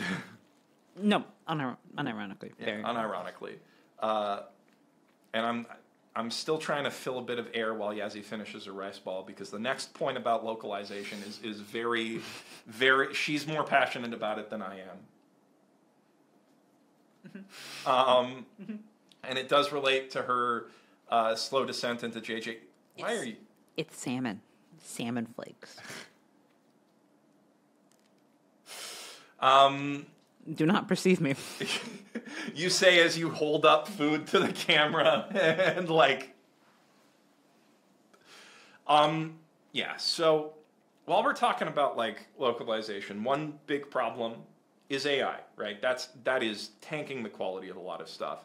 But another big problem is not localizers injecting their politics or whatever. Again that does not happen very often and when it does if it's a threat to the business, it immediately gets squashed, as we saw with the whole Jello apocalypse debacle. But the big problem is localize localizers who just don't really give a shit. Um, and Jujutsu Kaisen, the Jujutsu Kaisen manga, the, it kind of what I just did with my phone is what's been happening every week with the Jujutsu Kaisen simulpub for years because it got handed over to um, Because the first guy had to be a fucking right? That's what happened. The first guy was a first localizer. was? Yeah, so- Oh, yeah, that's I why didn't he even got- know that part. Yeah, yeah. So the guy who who translated everything up to Shibuya uh, got kicked off for, for crimes. Um, Um, and, and then they they that- had another guy. No, they come- didn't. It was just John Werry. John Werry took over. At, Right. yeah, okay. John Werry just took over. Um, there there was somebody else. I don't want to like, you know, talk too much about people. talk too much yeah. about the um, drama. but uh, John Werry took over, and since then has legitimately, arguably, I think, been ruining the manga. Yeah. And nobody's talking about that. None of these, oh, the problem with localization people are, are have even a peep to say about one of the biggest manga in both Japan and the West right now Yeah. right? Being extremely inaccurately translated. This is not like being picky, right? With like, oh, I don't like that they added a little, like they made that character say like totally instead of just saying a sentence, right? Like I don't like that they added slang to this. He is incorrect. Yeah. And it is getting published in print permanently incorrectly. Half of the reason people say they don't understand the JJK manga or the power systems are Is because Because the- of him. Yeah. The the explanations are like both hyper literal and and somehow word salad at the same time. Yeah. Like so I don't know, I never read Demon Slayer. Um, but he was also the translator on Demon Slayer. And he did a good job. No, no, Demon Slayer. He was also committing translation terrorism on Demon Slayer. As I Right, no, it was Komi can't communicate. yeah, he's also did actively on Komi can't communicate, and he does a great job on that. So it's not a skill thing. Uh, he just doesn't seem to give a shit, and is actively harming and pushing people away from reading the official translation and it's crazy like one of the biggest and easiest non-spoiler this is no spoilers if you watch the anime examples right is there's one point when kenjaku is talking about both gojo and geto's skills and he says in in John Werry's translation it says that gojo can use cursed spirit manipulation no, he can't. No, no, he can't. Right? And more recently, it's hard to put this. We're not going to show this on screen because it's spoilers, but it's not spoilers to talk about. He takes things like shrine and malevolent shrine, which are two different things. So, right? so they, s- s- without spoiling things, Sukuna has his domain, which is Malevolent Shrine, and, And then he has a technique. a technique which is called Shrine. Shrine. Two different things. Two different things, right? Uh, that so so most recently in very recent chapters, he went and translated stuff that says shrine as malevolent shrine. And I compared that, I think quite I think it's a pretty accurate comparison to say that's like taking something that says this guy is a Saiyan and translating it as this guy is a Super Saiyan. yeah. That's like the equivalent of that for people who don't know anything about JJK. And like he also So yeah, he called them both Malevolent Shrine. yeah, yeah, yeah, so, yeah. Like, so, which are wildly different things. And at one point, I mean, he's also the the criminal behind I'd Win versus No, um, Yeah. which everybody knows that the Nah Win meme. Uh, he originally translated that as just no, and then there was enough outrage that they changed that. Mm-hmm. But like, they won't. There's been outrage about the other stuff, like within the fandom. yeah, there- Another thing he did recently, um, which I think is not spoilers, was he took a line that said Mahoraga, which is that you know the character with the the the he, you've seen him in season two, the giant thing that that Megumi killed himself over. Um, He said Mahoraga. Sorry, it said in Japanese Maharaga adapted to this attack, and in the English one, it says Malevolent Shrine adapted to this attack just those you can't even argue that like oh those are that's just one extra kanji in it it, it said a completely different, different word. It, it it said Goku and he put Vegeta. Like Yeah, absolutely Like- baffling. there's and nobody who is complaining about localization. Yeah, sorry. Yeah, th- there's another really bad one recently, which was um, Gojo was explaining. Oh. Yeah, so Gojo's like doing an interview, and he's like, so. And and specifically, what he's saying is, so why can't I use Black Flash on command using my six eyes, right? And John Werry translated the the word for use on command as use. To just use. So so go the translation was implying Gojo can't black flash, which is not Yeah. true. Yeah, it said it, he made it say, "Why can't I Black Flash?" Well, where we just saw multiple chapters where bro back to backed it five times. Like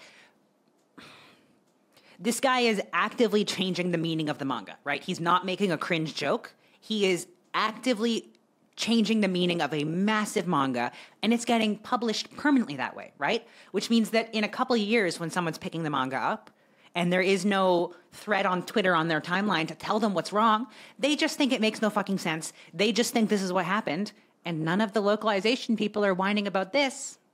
Yeah, because they don't Give a shit. they don't They don't actually the care. of the translation. They just care about people Culture with wars. different politics from them getting fired.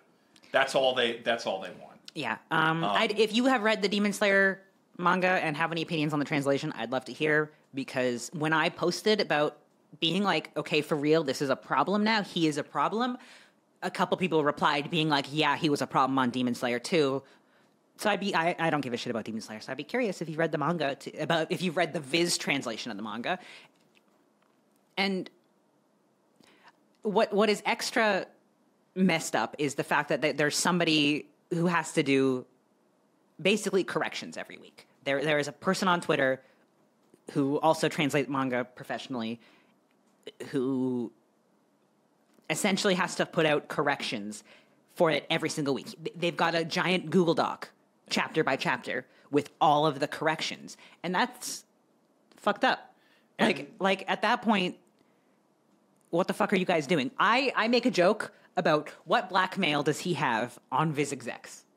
That you have this much fandom outrage, at least, right? And you have this many like black and white errors, not eh, patriarchy. I don't like that line. You have like black and white errors, like Yeah. no questions asked errors, wrong character names. Removing removing context. Yeah. Removing like m- making sentences unreadable sometimes. and and they have gone back. They changed a couple of them, like the Nide win, right?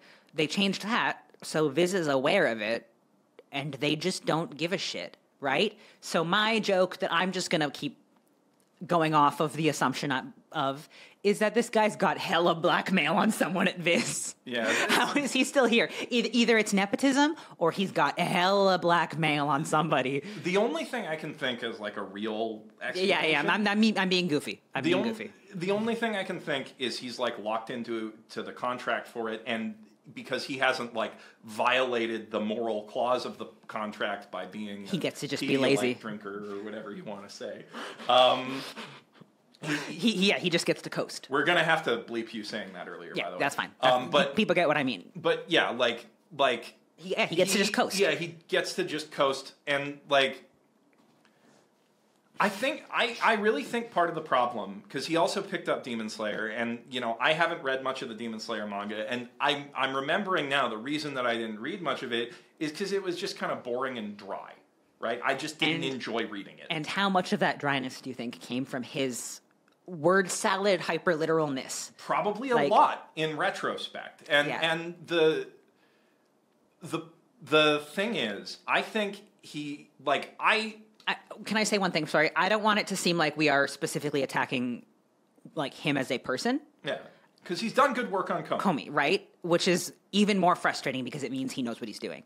Um, And I don't want it to seem like we're doing what those fucking annoying culture war people do, right? Where they target somebody.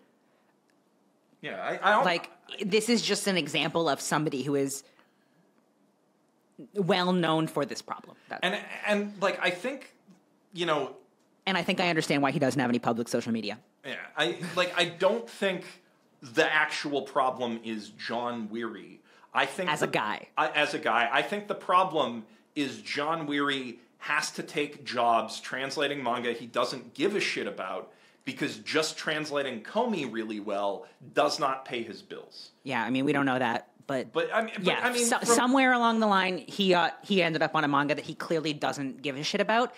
You know? And, and again.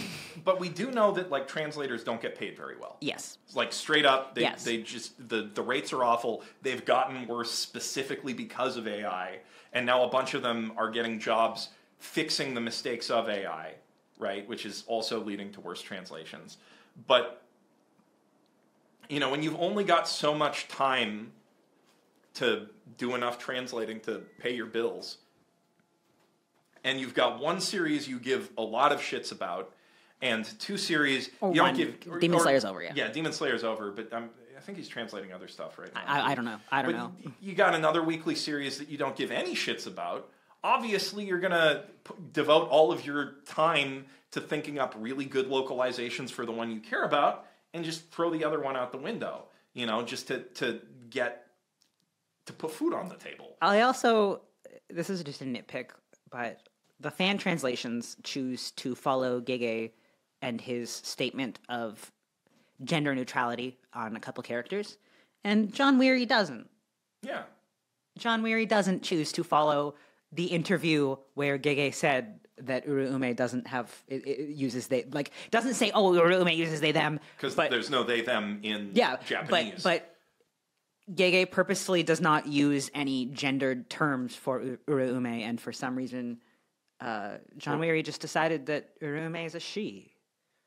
Yeah. So that's a bit of a nitpick but kind of an important one. Yeah kind Um, of changing the meaning of a character perhaps.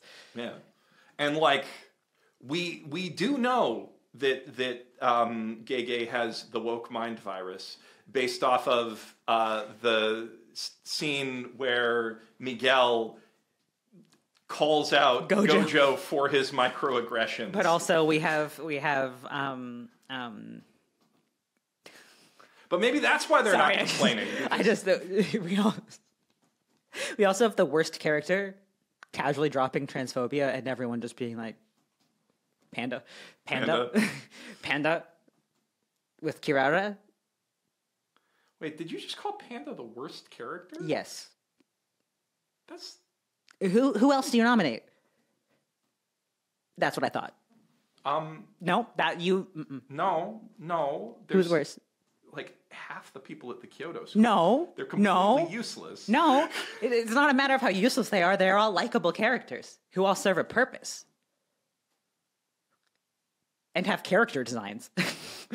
are just a panda. Man, it's so disappointing to get panda merch when you go buy like a random, you know, when you buy like a blind thing and it's fucking panda because it's not even whether or not you like the character, it's a panda. I like Panda. Not his transphobia. I just like him. I like Panda. Well, then you can have all my my randomized panda merch. Thank you. Don't pretend you want it, you liar. Um, Anyway, um, John Werry is causing actual. Okay, how about this? Let's drop his name. The person who translates JJK, so 'cause it's not a personal attack on you, and the guy who translates JJK is the perfect example of a serious problem that that none of these localized crybabies actually give a shit about. And maybe they're even in favor of it because he changed pronouns in a way that they like. No, they don't. They don't give a shit. That's the thing. They don't give a shit. I mean, yeah, they're not reading. it. They yeah, Let's- they're let's they're be- they don't give a shit, and that that doesn't yeah that they don't they don't give a shit, and it, it's just another example of you don't actually care. Yeah, you're not really part of the fandom. But also, what can we do about this? Like, actually, I don't know what can be done. It's crazy to me. Like I said earlier, the, it's just being published that way. It's just being printed that way permanently, forever. Well, I mean, we like it's hard to even have a conversation about it Because it of gets these people. drowned out by people still complaining about the fucking Dragon Maid thing. Yeah, and like people, it also gets filtered out by people, right? Because they just assume that it's another one of those arguments and that it's another nitpick or another personal attack or whatever. Yeah, because of those annoying crybabies who won't shut the fuck up. It gets filtered. What do we do about this? I don't. I don't know. I don't, that is literally what I tweeted. I tweeted being like, okay, it's not funny anymore. I'm not joking like haha John Werry committing translation terrorism. Actually though, what can we do about this? Because to me it is crazy that an absolute powerhouse of a manga is arguably getting ruined, but more importantly losing a bunch of paid readers because it is just unfortunately better to read the fan translations Yeah. because they actually well, I mean, the thing follow is, the series. the thing is every the week, fans- every just real fast, every week feels like it's his first time seeing the series. Every single week feels like he's working off some fucking chart of previous words they've used. Like every week feels like he's a guest translator. Yeah, it's and the I mean the one week that did have good translation. Oh my God, was, praise- was when they brought in. Yeah, so so I don't want to yeah. spoil anything, but 236 You guys have no idea how happy I am. I feel like I used up all of my good luck ever just having him not translate That's not true. You 236. just won two huge fuas in a we can't we gotta oh, we gotta oh my god oh my god that we'll we'll, we'll sign out with that story But- um but like oh god i'm so happy that he just happened to be on vacation during arguably what would have been the most argument filled chapter And no spoilers chapter. 236 uh, oh my god when i when i saw that name on there i was like Yeah, the the guy running the Twitter thread full of corrections got or to i don't know their i don't know their gender they, they Or the, the person, yeah i don't know their gender Yeah, the person running the Twitter thread full of corrections got, Got to translate to 36. and it was monumentally better. You, you can, yeah. i'm gonna turn the AC. day. i turned the ac off but i think i gotta turn it back on gotta turn it back on. Um, but Anyway, I think we're kind of wrapping this one up. Yeah, no, I I- like as for what can be done, I really don't know, right? Because the I really think that the problem is that like it takes a huge amount of work to translate stuff, and people aren't getting paid enough for that work to make a living, and like despite the fact that Viz is the biggest comic publisher in North America, period, the most profitable, hands down, And the most powerful. they have no incentive to pay these people more and get better work because you know they it just improves their profit margins not to and like the thing is the fans who are going to read the the proper fan translations are still buying the manga just to have it in their collection a lot of the time right I don't know. Like, what's messed up is that I have to read the fan translations. yeah Like, I read the, the Jump one. I have a Jump subscription, right? I read the Jump one, and then I go and read the TCB one after because it makes more sense. and there's stuff that yeah there's Like, stuff I'll look at it- literally don't understand from Yeah. reading the oh my god, that motherfucker made me think I couldn't read. He, he I was like, I the, the amount of times I had to go back a couple pages and re re re reread something, and reread something, um, was insane. I really felt like I didn't get it.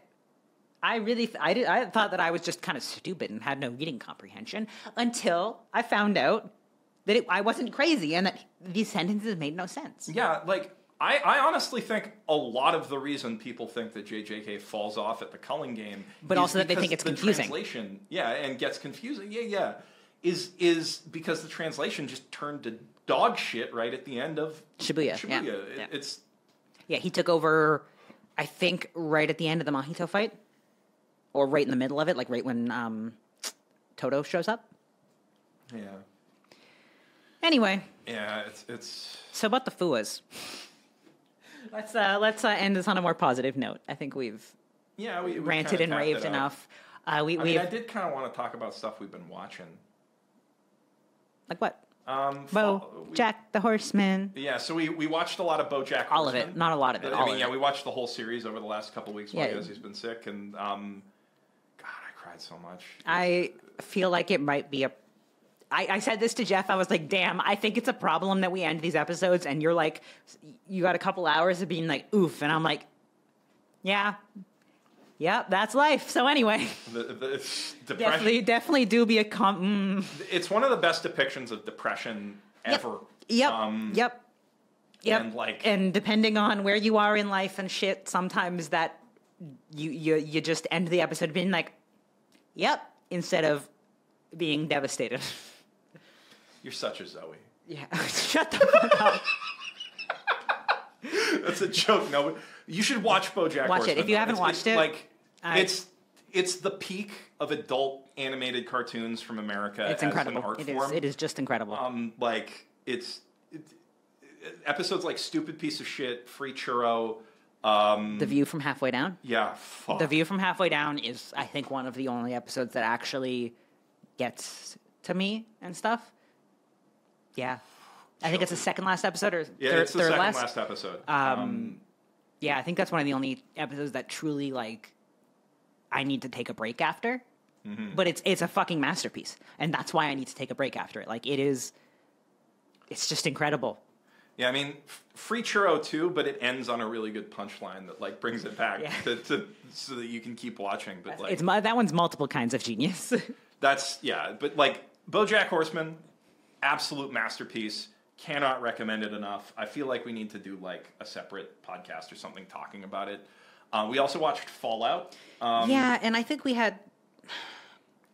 So for for for what's the word I'm looking for? For reference, for reference, Jeff is a Fallout fan. I only know like basic shit off of watching a couple, like seeing a few hours of gameplay from other So people. I want to I want to be clear on what kind of Fallout fan I am because there's a lot of different kinds of Fallout fans. I've been looking like slobby as shit. I mean, it's these all the camping chairs. Yeah, yeah, these camping this chairs. is if you sit back, this is how it is. These are Yeah. camping chairs. Um, but I so I want to clarify because there's lots of different kinds of Fallout fans. I am a Fallout fan who got into it with three, then played New Vegas, and New Vegas became my favorite game of all time. And then I was extremely disappointed with four. Never played seventy six. Have played some of one and two, but never finished them because they're old. So Seventy that's- six was the one with the hilarious, um, um, like pre what are those called? Premium collector's edition. Drama. Oh, yeah, yeah, the- that was the- that was seventy six, right? Oh my god, I supposed to be remember like that. Burlap sack. and also an actual like Pip Boy thing, and it was it was yeah. Okay, sorry, it's my only reference for seventy six. Yeah, seventy six is the live service one. yeah. So Yep. Um, um, yeah. So so we watched Fallout, and I would not have continued watching it on my own. I think for for I guess yeah. I, I I watched it with you, and I was like yeah because it's on. But I think I it didn't really super hook me. Um, I wasn't huge on like, and this is nothing. I don't think that it shouldn't I don't think, yeah, I don't think that it shouldn't be in there. My brain is, is tapping out. I don't think that it shouldn't be in there, but I wasn't huge on the like over the top gore and stuff, like the over the top bloodiness and stuff. Nothing against it, but it was like almost cartoonish at some points. yeah. Um, and I wasn't huge on the grossness in that sense. Um, yeah, I mean, I watched till the end, um, and as like a not aware very much of Fallout stuff, besides a little bit, it wasn't bad. you got the story. Yeah, I understood. It wasn't hard to follow or anything. I get it. Um, Uh, Some of the twists towards the end were pretty good, right? Yeah. Um but uh, the biggest turnoff for me was the like almost cartoonish level of gore. Yeah. Which is a selling point for Fallout. Yeah. So yeah. that's, that's, That's that is what it is. I'm not saying it shouldn't be there. you're just not into. f- I yeah. It was yeah, I was just like uh, it was a little much, guys. But like Uh. not in the sense that you guys shouldn't have done that, in the sense that it's not my taste. There's literally a perk that you can get building your character in a lot of Fallout games where you will produce more blood when you kill enemies called Bloody Mess. Oh, well, there- there you go, you know? You like you can trade good things that help your character for Actually- just more gore effects. That's Actually, I didn't enjoy Fallout because her suit wasn't made of latex. Oh yeah, that that the Because fucking- her ass wasn't fat and made of latex. God, I remember. Yeah, the, The same fucking culture war tourist people were, were bitching about that for like three days. and and had like an AI redraw of the girl's butt. I, anyway, I did like the, the the costuming was actually really well done. The Yeah. the the sets questionable, I guess. Some At of- some of them are really At- good. At, some points, you could tell they were in a very small space. but the the the town set. oh yeah, the towns were great, but like, yeah, the costumes and the and effects and the vault were the vault was really good. yeah. I mean, the vault's like the vault's kind of the perfect set to build on a soundstage, right? Yeah, And they- but they- but uh, yeah, I just want to say the costumes were incredible. Um, yeah, yeah. yeah, that's worth noting. Um, I mean, I fucking hated that she wasn't in late. Uh, but Which even who was make your favorite character out of the three main characters? I don't really have one because I don't. I didn't particularly attached to any of them. I like the ghoul. I mean, everybody likes the ghoul. Yeah, yeah. If I had, to, I guess. I mean, I, I yeah, I, I thought it was like speaking as a Fallout fan. I think I like his the personality is great, but the, his like of course that's just how their faces are. But the effects on that were a little too good. it, it you. A little too good. Yeah. Speaking as a Fallout fan, I I thought it was really cool that they did some things that you couldn't really do in a Fallout game that legitimately expanded the lore, um, specifically around Vault-Tec and what happened in the past. Like I thought that was really cool. Um, I thought that the general mystery was interesting, although like I I saw what was coming from like the halfway point as soon as she talked about her mom and the son um Yeah. without spoiling things but if you've seen it but yeah i think i mean let's let's not kid ourselves everybody's watched it already who's interested in it but like i think it's good and i think it will make a lot of people not necessarily you because you're not into the juxtaposition of horrific gore and 1950s kitsch that is Yeah. the whole Yeah, yeah. Also, I think that the night. Yeah, yeah. Also, I'm not huge on that old old vibe. You know, not my thing. yeah But instead of trying to change or cancel it, I say not my thing. yeah Take note, losers. perfectly valid. don't like, don't watch. We- Yeah. Oh my God. Don't like, don't watch, bitch. Bring that back. Um, Bring it back. We we as a society have moved too far from don't like, don't watch. yeah, we need that back for real. Um, but yeah, uh, yeah. Other than that, I think like it's, it's good. I think it might make some new fans. Uh, hopefully, a lot of new fans. It made me. It has. It has actually. I have seen a lot of a lot of people like streamers I follow started playing Fallout because of the show. So It made me want to like sit down and like play the the CRPGs, like the classic ones. Maybe I'll do that on stream. oh yeah. they're kind of they're shorter they're choice driven you know they're they're fun games Yeah. yeah that and they won't tax the the um, System. the system too much but yeah I, I i've been really wanting to get into those finally after replaying new vegas so many times um, but yeah uh, I, th- I thought that was good and then the last series that i want us to talk about real fast um, that we watched right at the start of when we got here that I want to recommend is Sanctuary. Oh yeah, that's not new or anything, but It's it's a sumo. Oh, it was, Sports it was so good. Except the last episode, but it was so good. Yeah, uh, yeah. The last episode's kind of disappointing, but other It's than also that, only half length. It's only it's only like twenty five minutes instead of forty. yeah, real real blue balls moment. But other than that, S- Sanctuary on Netflix. I won't say much because it's it, it. I think it'll grab you. Yeah, in one Um, episode. Yeah. Yeah, yeah. Sanctuary, Sumo Story, fucking great. Great. We still have to watch Shogun. I want to watch Shogun. Yeah, we gotta we gotta check that out next. We'll report back what we think of Shogun on the next podcast episode. Let's. You want to close this off on the the Kuji story, Uh, or do you, do you have anything else to? Yeah, I just I've been playing another Crab's Treasure. Oh and, yeah, yeah, yeah, um, yeah, yeah. The the I, I, goofy, I goofy. Oh, sorry, goofy, goofy crab game by the Crab Company. yeah, it's kind of like Sekiro meets Battle for Bikini Bottom. Um, it, so it's you know a Souls like, but designed for uh, I, I'd say a younger and more casual audience, while still providing a hearty amount of challenge to somebody who likes Souls likes, who has beaten Sekiro and beaten all of the bosses in Sekiro. But also, it's got a easy mode. Uh, no, it doesn't have an easy mode. It has assist mode, so you can change like a whole bunch of. No, but I'm talking about the the gun. Oh yeah, yeah. So I, I mean, that's that's give Krill a gun is a separate option from easy mode. So there are difficulty. No, I'm, I'm, I know I'm calling it like true easy mode. yeah. So there's there's an option where you can give the crab a big gun, and just it insta kills any other crab because it's a gun. I don't want to get into this argument because I know we have very different opinions on this, right? Yeah. And I think it's it, like I, it'll be a long conversation that my brain's not ready for. So perhaps if people care, it can be a next time one.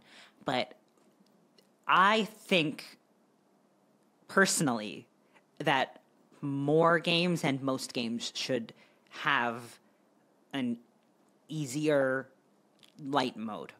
And I know you don't agree. I know that you don't agree. And that that's fine. Yeah. To, to me, I, I like that Sekiro puts up a wall that I have to get over, and there is no way around it. And But- I personally feel like that's bad and shitty and dumb. But- but so- I don't I don't want to get too into it though because I know we have complete opposite Right. opinions on this and it's a good conversation, but my brain is on empty already and we're 2 hours in. So, the only thing I want to I want to say about that is is another crab's another crab's treasure has kind of turned me around on it a little because I know it has an assist mode, right? I win, I win, I win. you haven't. I know it cut the camera, cut the camera, I win. I know it has the assist mode. I haven't felt any temptation to turn it on, even when I was fighting the same boss like twenty times. Oh, it was more than 20. It was twenty. Okay. Okay. Um, I was there. Okay. even when I was fighting this. I mean, I he was two shotting me, Yeah, right? yeah, I, yeah, yeah. I, I, I know, built that's- a yeah. glass cannon build, but I did it to challenge myself. And the thing is, I I I like that FromSoft games are tuned to a specific level of difficulty, and they don't care about the experience outside of that. And like, I think another Crab's Treasure to a certain extent, because it, it is a little bit glitchier. It is a little bit less tuned in general, but I mean, it's also an 11 person indie team, so that's part of that. Yep. Um, Speaking of which, oh, sorry, go ahead. but it does show that like I there can be room for both in one game, and I would really like to see you play it at some point. I'd like to to- see some strange, fluffy moth play it, maybe, but Perhaps, I don't know that bitch, so yeah, I don't know how we'll get that message to her because I don't know that bitch. um, yeah. I don't, I don't know that bitch either, but I do think she followed us to Japan.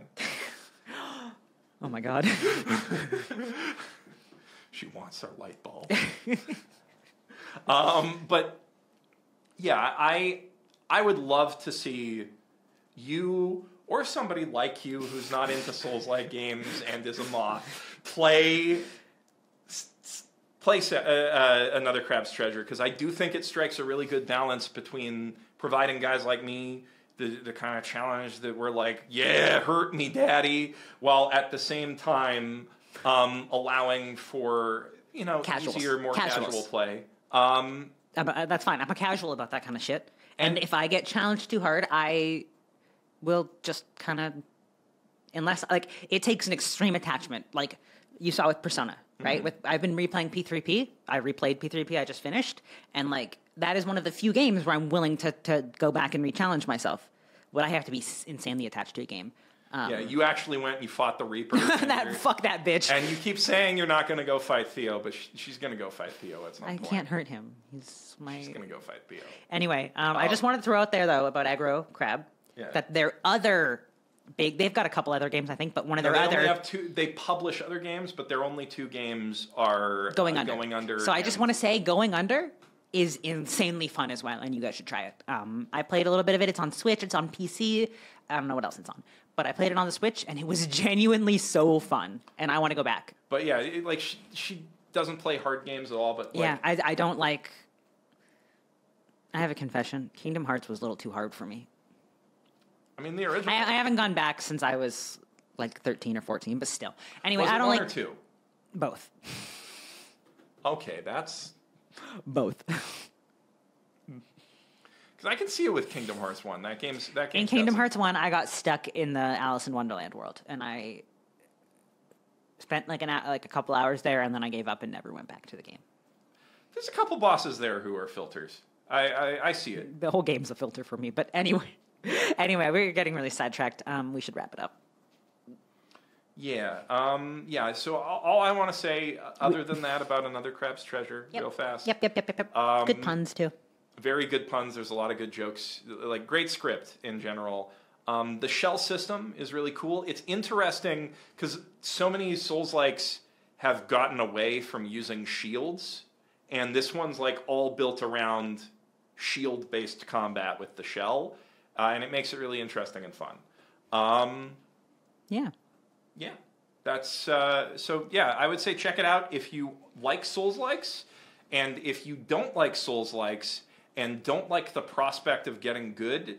It's got both in the options menu options to make it easier and like if you don't want to deal with doing corpse runs to get your experience back, it's just got a button that lets you get your experience back.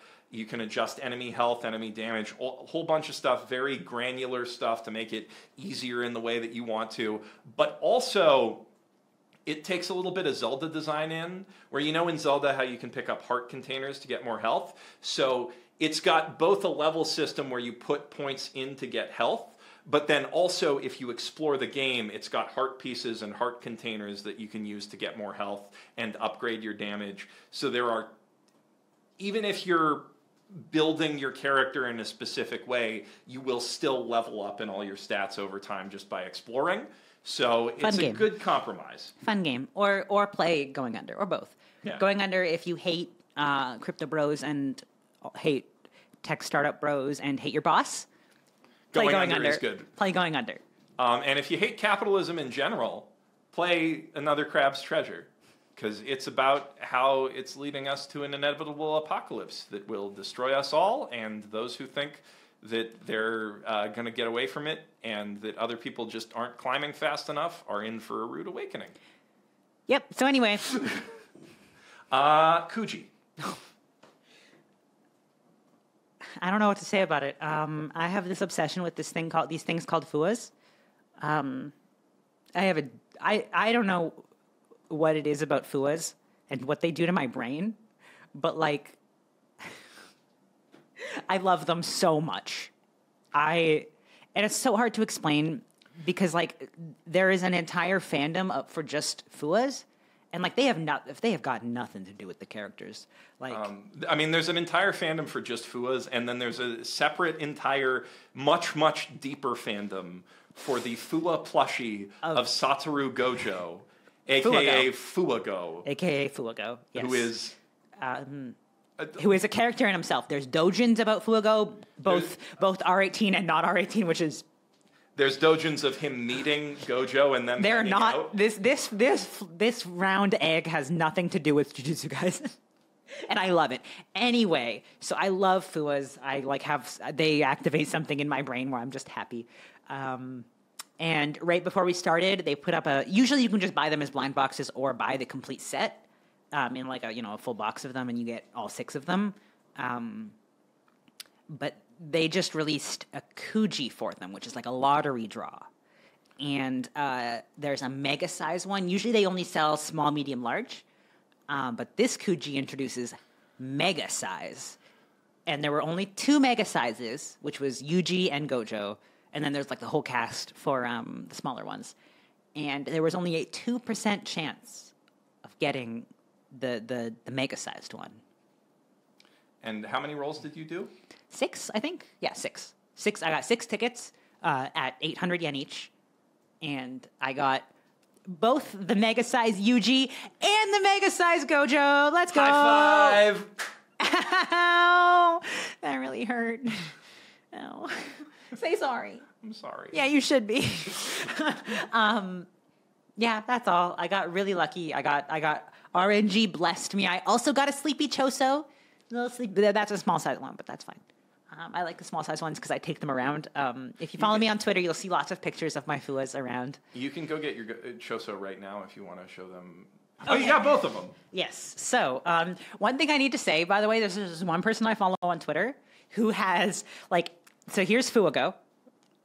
He's just a little guy. You can see why. He's immediately. he's just a little guy. Um, and there's this one person I follow on Twitter who has like fifty something of them, five zero something of them. Each with different names. Yes, I was going to say that. I was going to get to that.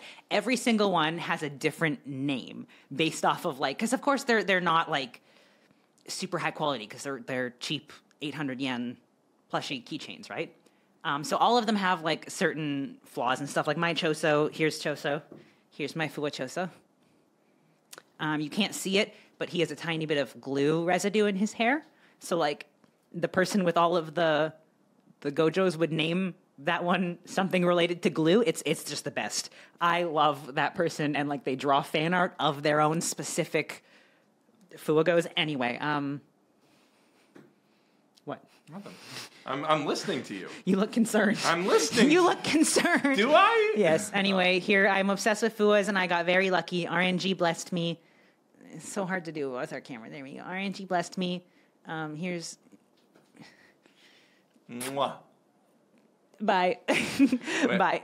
That's it? Yeah, that's all. I, I just wanted to point out you said they're 800 yen, uh, but to give some idea of how much people are obsessed with Oh my God. specifically. The aftermarket and and ghetto. The Fua ghetto is even more expensive. Remember the Okinawa ghetto? yeah. Um, so yeah, these when you buy them and you pre-order them are 800 yen each. Um, when they sell out, What's the aftermarket price? um, the Okinawa Suguru one in his little Okinawa outfit is about three hundred dollars right now. That was like instantly as soon as soon as they because he was a pre-order bonus. So as soon as pre-orders closed and people were getting them in the mail, he was two hundred dollars and now he's up to three hundred dollars. Like for for an egg. For the an small one, egg. right? Yeah, for the, the big ones are like three to four hundred dollars for the medium and then like eight to nine hundred dollars for the XL one. Um, because they were exclusive to like a different website. Um, it's fucking crazy. The fu- the FUA economy is insane. Anyway, I hope you understand why. Because They are adorable. The Gojo economy is also insane, and that is multiplying with the Fua economy. Anyway, you can do the transition out that you did before. that you again. that you okay. Bye bye. Mwah! Why'd you do that? Because it's funny.